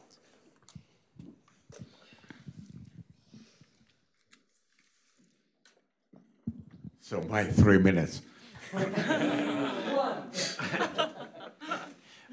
To begin with, I think that we need all the time to keep in mind that we need at least three words, not empire and nation state, but also nation. Uh, and uh, that means that uh, nation state uh, already, well, even in the early 20th century, was absolutely not seen as a norm. Just read 14 Points by Wilson and you will realize how strange the idea of the nation state was to this guy in 1918.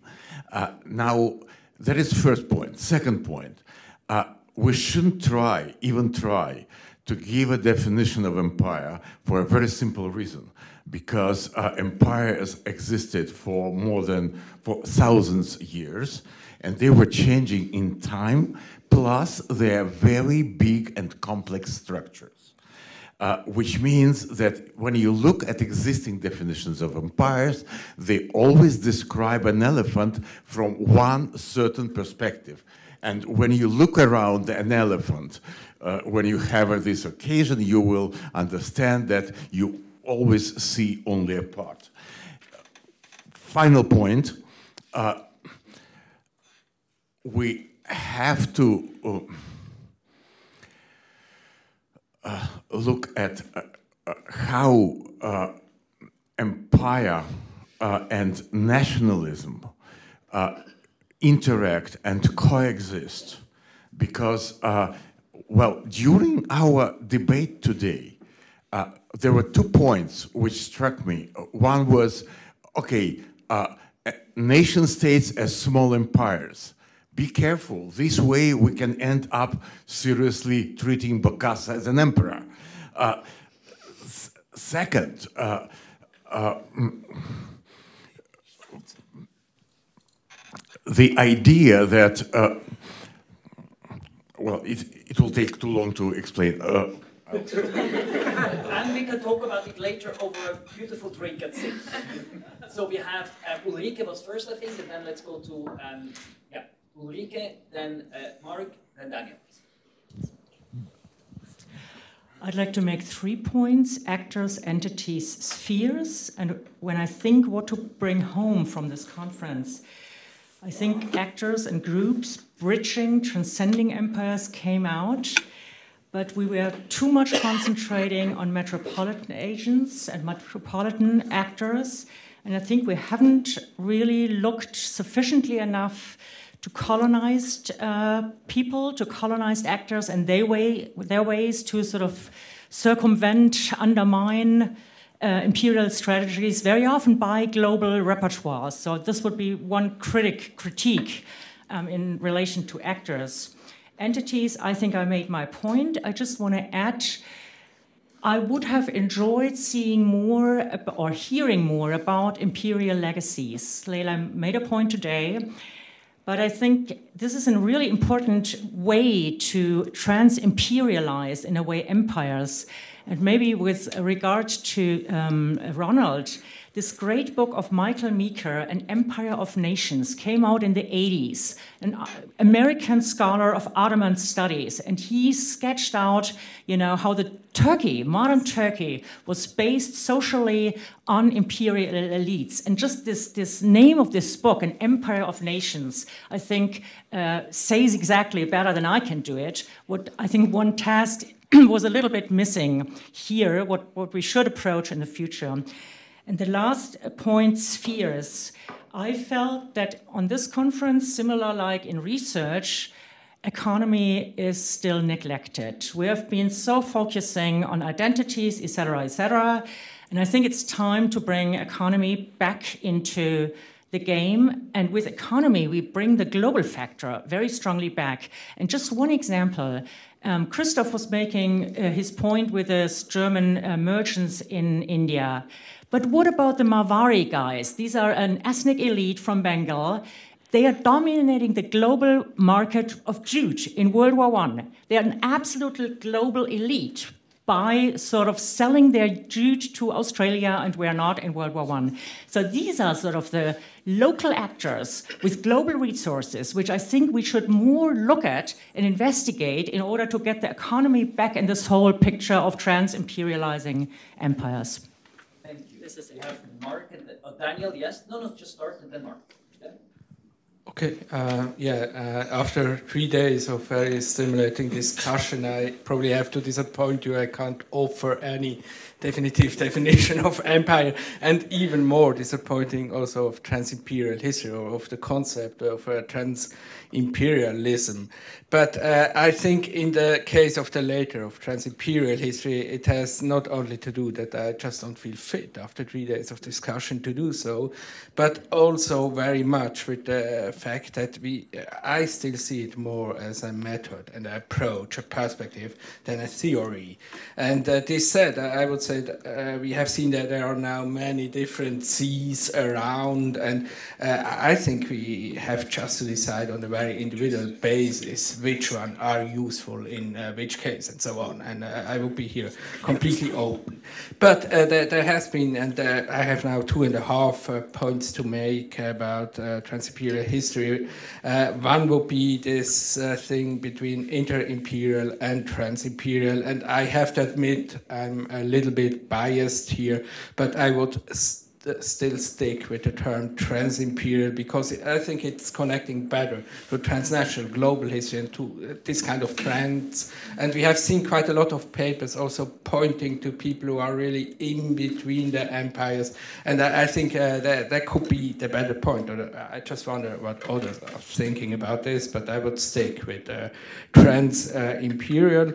and um, I think it's also a good uh, way to challenge just the nationalized history from two points, from this transnational and global uh, perspective, but also from a post-colonial, imperial, colonial history perspective. We haven't spoken so much about this, and Florian made this point. And the last short uh, point, uh, I think uh, we can see now a real development in the last five years. There was a kind of trans-imperial history avant la lettre, and then five years ago, you, you could see that some people are using this term, but now we have a much richer uh, uh, field, and I'm just looking forward how it, it will develop. Yes, thank you. Um, yeah, I guess and it, it, connects rather nicely to, the, to those two points. Um, uh, oh, I hope it does. Uh, I, would say, first of all, before we get maybe too caught up in battles of definitions, which sometimes can happen at these things, um, I, I, would say that uh, I don't think we have to recreate the wheel here. Um, I think there's a really useful starting point uh, uh, within the context of the U.S. empire, at least. Uh, Kristin Hoganson and, and Jay Sexton, uh, in their introduction to the recently published Crossing Empires, actually take great care in, in defining these terms and separating them out. And you know, we might disagree with them, but I think maybe we can. That's a good starting point for for how we define these terms and separate them out.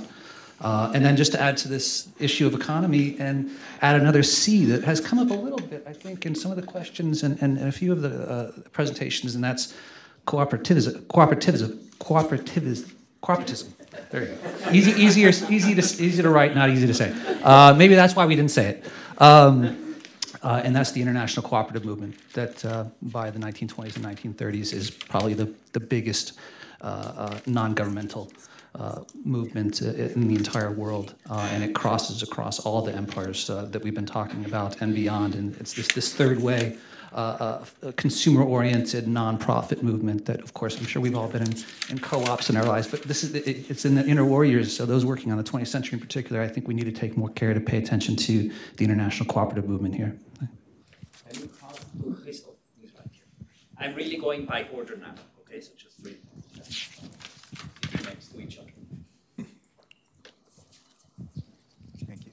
Yeah, I, I, will come back to a remark that Paul, I think, made uh, on the first day that we should uh, uh, pay attention to these uh, the contexts uh, in which empires uh, are, are, working. So um, the economy, economy, capitalism would, would be one of those context, but maybe also uh, technology, uh, communication, um, development of science, maybe also this, this, this emergence of this, this cultural artifact of nationalism, and then see how this affects empires and, also how this uh, affects trans-imperial, I, I, don't know, um, coalitions or conflicts or, or, or, whatever. Because then we would have something to think empire against. Because if we, if we only think about empires, it's just yeah. yes. we, we, we, miss a dialectical movement that will be possible. Lole, who is behind you?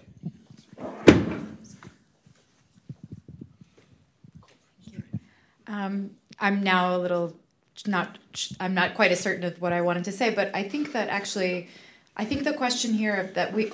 I think it's actually important that many of us are using this term differently, and that it would be a lot more useful to think about what this means because when we're talking to each other, it might be fine that we have different takes on what transimperial means, but when we're talking to other people, like there there is something to be said for making the case that this is a method, right? That it's not that we're just studying connections or like oh we're looking at two different empires or whatever, but what what makes our stories trans-imperial and the ideas of how those types of connections reshape particular imperial histories, right? That there's something different than doing comparative history, that trans-imperialism should, you know, that, that maybe we need to think more of it as a method. And then another thing just that strikes me is that in some of the discussions, um, the commensurability question is, you know, for many of us where we know a little bit about another setting, but we don't necessarily understand particular power relations, is something that in that came out, I think, a lot in the Q and A with particular context, and that maybe we need to think a little bit more about power in these international contexts. So I'm thinking here is actually about the last paper and um, David, the photographs, right? That like comparing Israeli families in Africa to African people of the same class is not the same thing, right? That that actually having to think in that transimperial context that there is a very different story because of those power relations, and then I think that that fell out a lot in our discussions. Next on my list is Eileen.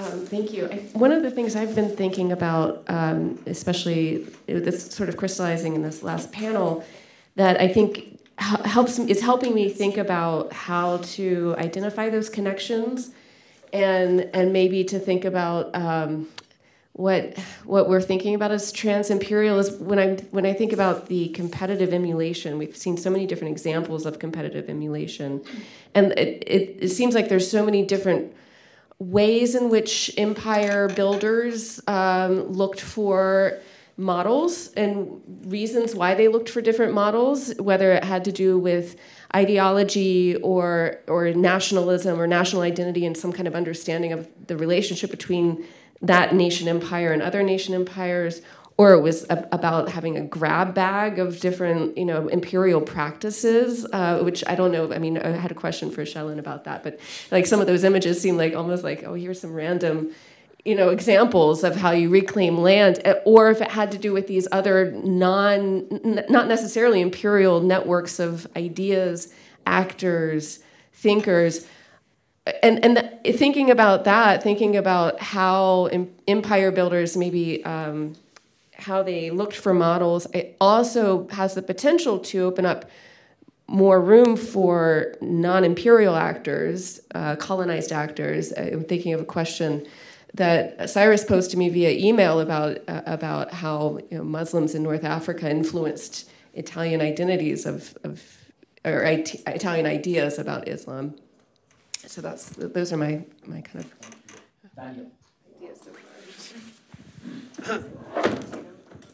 Yeah, I think when the uh, kind of uh, vogue for transnational history started, uh, quite a few people tried to emphasize that transnational history was not a method but a, a perspective, and uh, I, I think you know probably that could be said about transimperial history as well. But thinking about the different papers. I'm not even quite sure whether we all speak about one particular perspective. So this is partly kind of picking up what Daniel, Lale, and others have said. So is there actually a perspective that characterizes trans-imperial approaches? And over the last three days, uh, we've heard about uh, institutions, we've heard about various issues, and we've heard about various ideas. One thing that I probably expected a bit more after Ulrike's paper was to hear more about individuals and uh, about those individual stories that sometimes uh, allow us to, to, to, to, look at trans-imperial experiences, perspectives, and voices, and so on. But that's probably more the kind of cultural side of me uh, thinking about that. Uh, these are just some thoughts. Uh, happy to pass on now. Um, now, uh, Shellen, please. Thank you. Actually, that this is what I was also thinking about the units of analysis and also the categories and how we think about transimperial. In fact, it seems like a number of us are actually working on individuals, but also in the narrative of individuals and their life trajectories crosses empires and also nation states and these boundaries in various ways that actually break down these kind of containers and how we examine this period of history. Um, and I was also thinking that one uh, area that we uh, actually did not talk about is about the perhaps the diff or maybe breaking down the divide between blue water colonization versus contiguous or inner colonization. Um, and the way that that also when we look at these individuals rather than in these larger you know trans-imperial or inter-imperial uh, as a mode of analysis that when that in fact you see that how that difference is uh, kind of obliterated by that thank you so much alexander who is right here. Well, yes, just a couple of worries. I mean, I'm still struggling with the thought that, uh, let's say, Habsburg rule over uh, a certain region of Romania is exactly the same thing as, well, the same thing. It's very close to what British rule over uh, the Igbo in southeast Nigeria means. So I was just wondering, I mean, are there not differences in the forms of othering within colonial rule, especially because if I think of many of the of the projects of ruling over non-Europeans by European colonial empires, they seem to me much closer, for example, to what's going on in Latin American nation-state projects and their forms of internal rule over Amerindians or Indios or whatever. So the question is, do these categories really work? And a small remark, uh, because this I'm perhaps a bit more sensitive to that and feel on safer ground too. Uh, the, also when some terms are used like ethnicity, I think they are mm. used in very different ways, and this again would need some clarification. Yeah. Um, now, before we go on to um, Paul, you can pass it on to Paul, who's right here. Just Paul, one second. So, those online, please, if you want to make a comment, just raise your hand so I can know, okay? Um, raise your hand like, you know, the raise hands, whatever symbol or whatever that's called. Yeah? So we know whether you want to say something. Paul, you're next up. Okay, um, so you know what this discussion is bringing to mind for me is the question of what is at stake in these meta historiographic labels. Yeah. Um, you know, if we think about this as a trajectory or a set of conversations that you know is evolving out of conversations about transnational uh, or global history, for example, does it matter what we call these enterprises or not? And I think it certainly does, up to a point. Um, but it's worth thinking about why and how they matter and then where they don't. Where does it stop mattering? Um, uh, I think it matters in terms of the connotations that these terms have in directing and organizing our imaginations and our attention as scholars. Does it direct us to elite, middle class, subaltern actors? Does it direct our imagination to metropolitan or peripheral spaces, et cetera? I think it also matters in terms of how they structure our method methodologies and research practices, right? It matters whether you're thinking of what you're doing as transnational, international, uh, global, etc. Um, that said, I think transimperial certainly does some things that other forms and other designations uh, have done in terms of pointing our attention to connectivities between national histories and across these boundaries, and in some ways making us um, think critically about our own practices and about these um, deeply internalized and encrusted and institutionalized forms of methodological nationalism and, and imperialism. Um, so that's something that I don't know whether it matters that much whether we call it transimperial or transnational, et cetera, up to that point. But what I do think that transimperial does, which is really important, is it foregrounds questions of unequal, asymmetric, and dominating power in ways um, that transnational history, um, which emerged out of a kind of 1990s conversation about globalization, foregrounded flows, connections, interactions as an end unto themselves, and valorized those, connect- on those connotations in ways that 1990s globalization discourse uh, did. And in that respect, I think transimperial history opens up a more critical politics vis-a-vis questions of transnational and global inequality and injustice that arguably should attract our attention. Thanks. Thank you so much. I think Anne-Isabelle was next. I saw you. It's good. You're on the list. No, no, but first Anne-Isabelle will go by, by the row. Yeah. Uh, thank you. Yeah, actually, this something else that came to mind. I mean, obviously, this is about modern trans-imperial and inter-imperial histories, Yeah. but your point reminded me that the criticism. I, I, I think I'm, I'm slightly more uh, positive towards transnational history, but the point that a lot of early modernists always made about transnational history, it doesn't work in the early modern period, and actually trans-imperial might.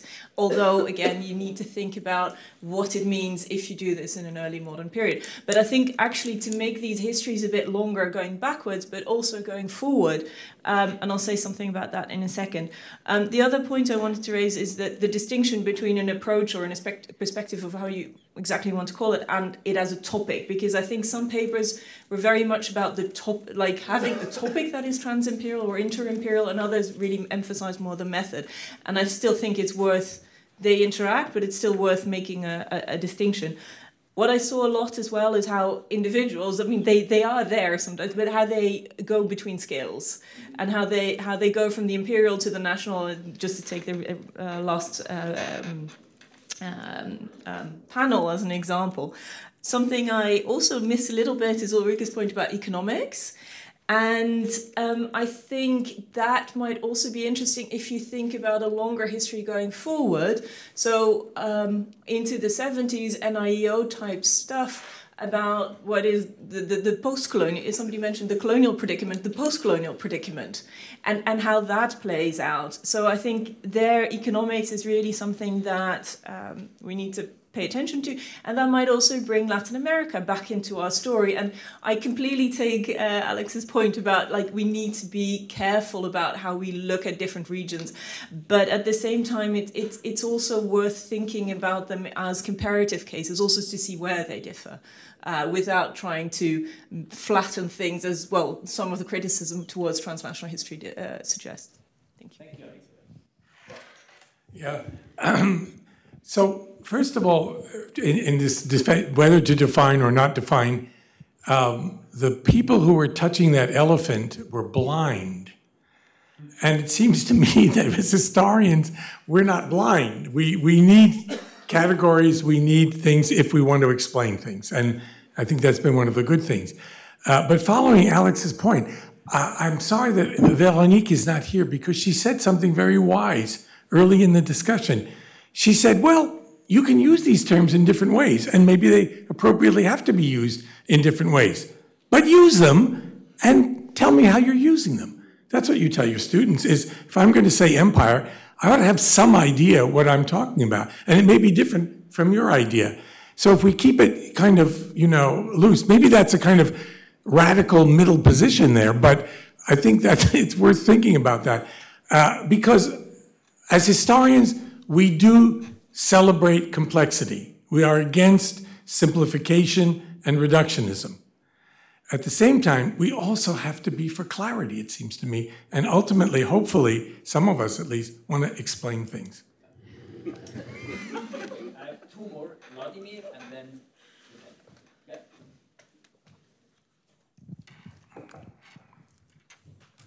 Okay, thank you very much. Um, th- there's so many different methodological perspectives on how to do trans-imperial history. I don't think uh, there's a point of having like one coherent agenda. But I think there, there are two questions that every single one of us can ask uh, for how we do trans-imperial history and you know for, for each new project. So the first question is, I think most of us are in agreement that we gain a lot by doing trans-imperial, inter-imperial history. What do we lose, right? And then can we live with that, with what we lose? And how do we minimize the losses in our work? And then the second question could be how to write trans-imperial history ethically, in an ethical manner. Because there is, there is a risk of privileging the state, privileging colonial, um, privileged colonial populations over colonized subjects, privileging colonial knowledge. So um, we can always remind ourselves what is at stake and um, what kind of gift we want to leave to the world.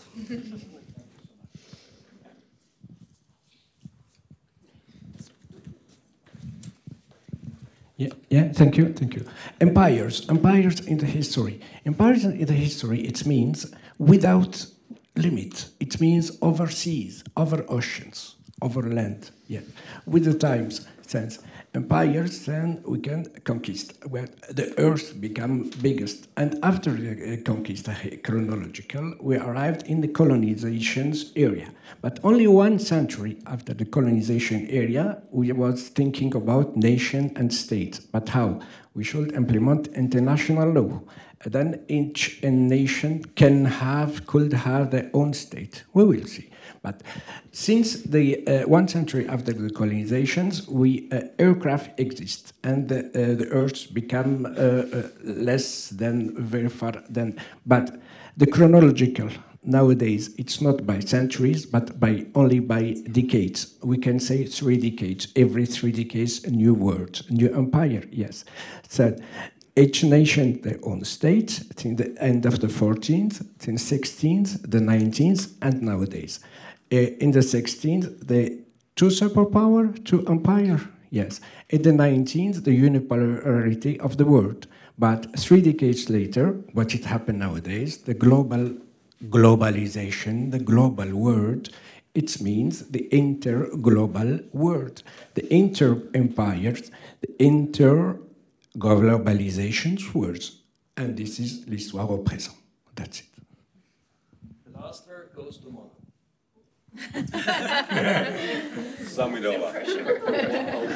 No pressure, thank you. Um, well, I'm obviously biased, but something I also wanted to point out that I found um, missing, at, at, least explicitly, was the environment and environmental history.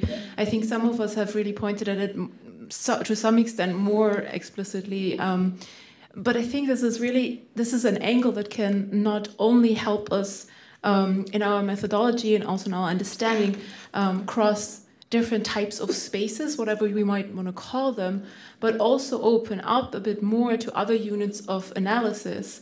We had the tree, we had the tuna, um, we had the garden, but then all of these um, also have different types of mobility in and of themselves, and how does that change how we look into, you know, empires and a more than human, um, I think, angle would be really important to also consider on top of everything we have um, summarized so far. Thank you so much. A great last point. I think we have gotten to the end of three very intense days. Thank you so much for coming. I really appreciate it. Thank you so much again uh, to Irina and to the du Bois Foundation. Thank you to David. Where are you? You. Thank you.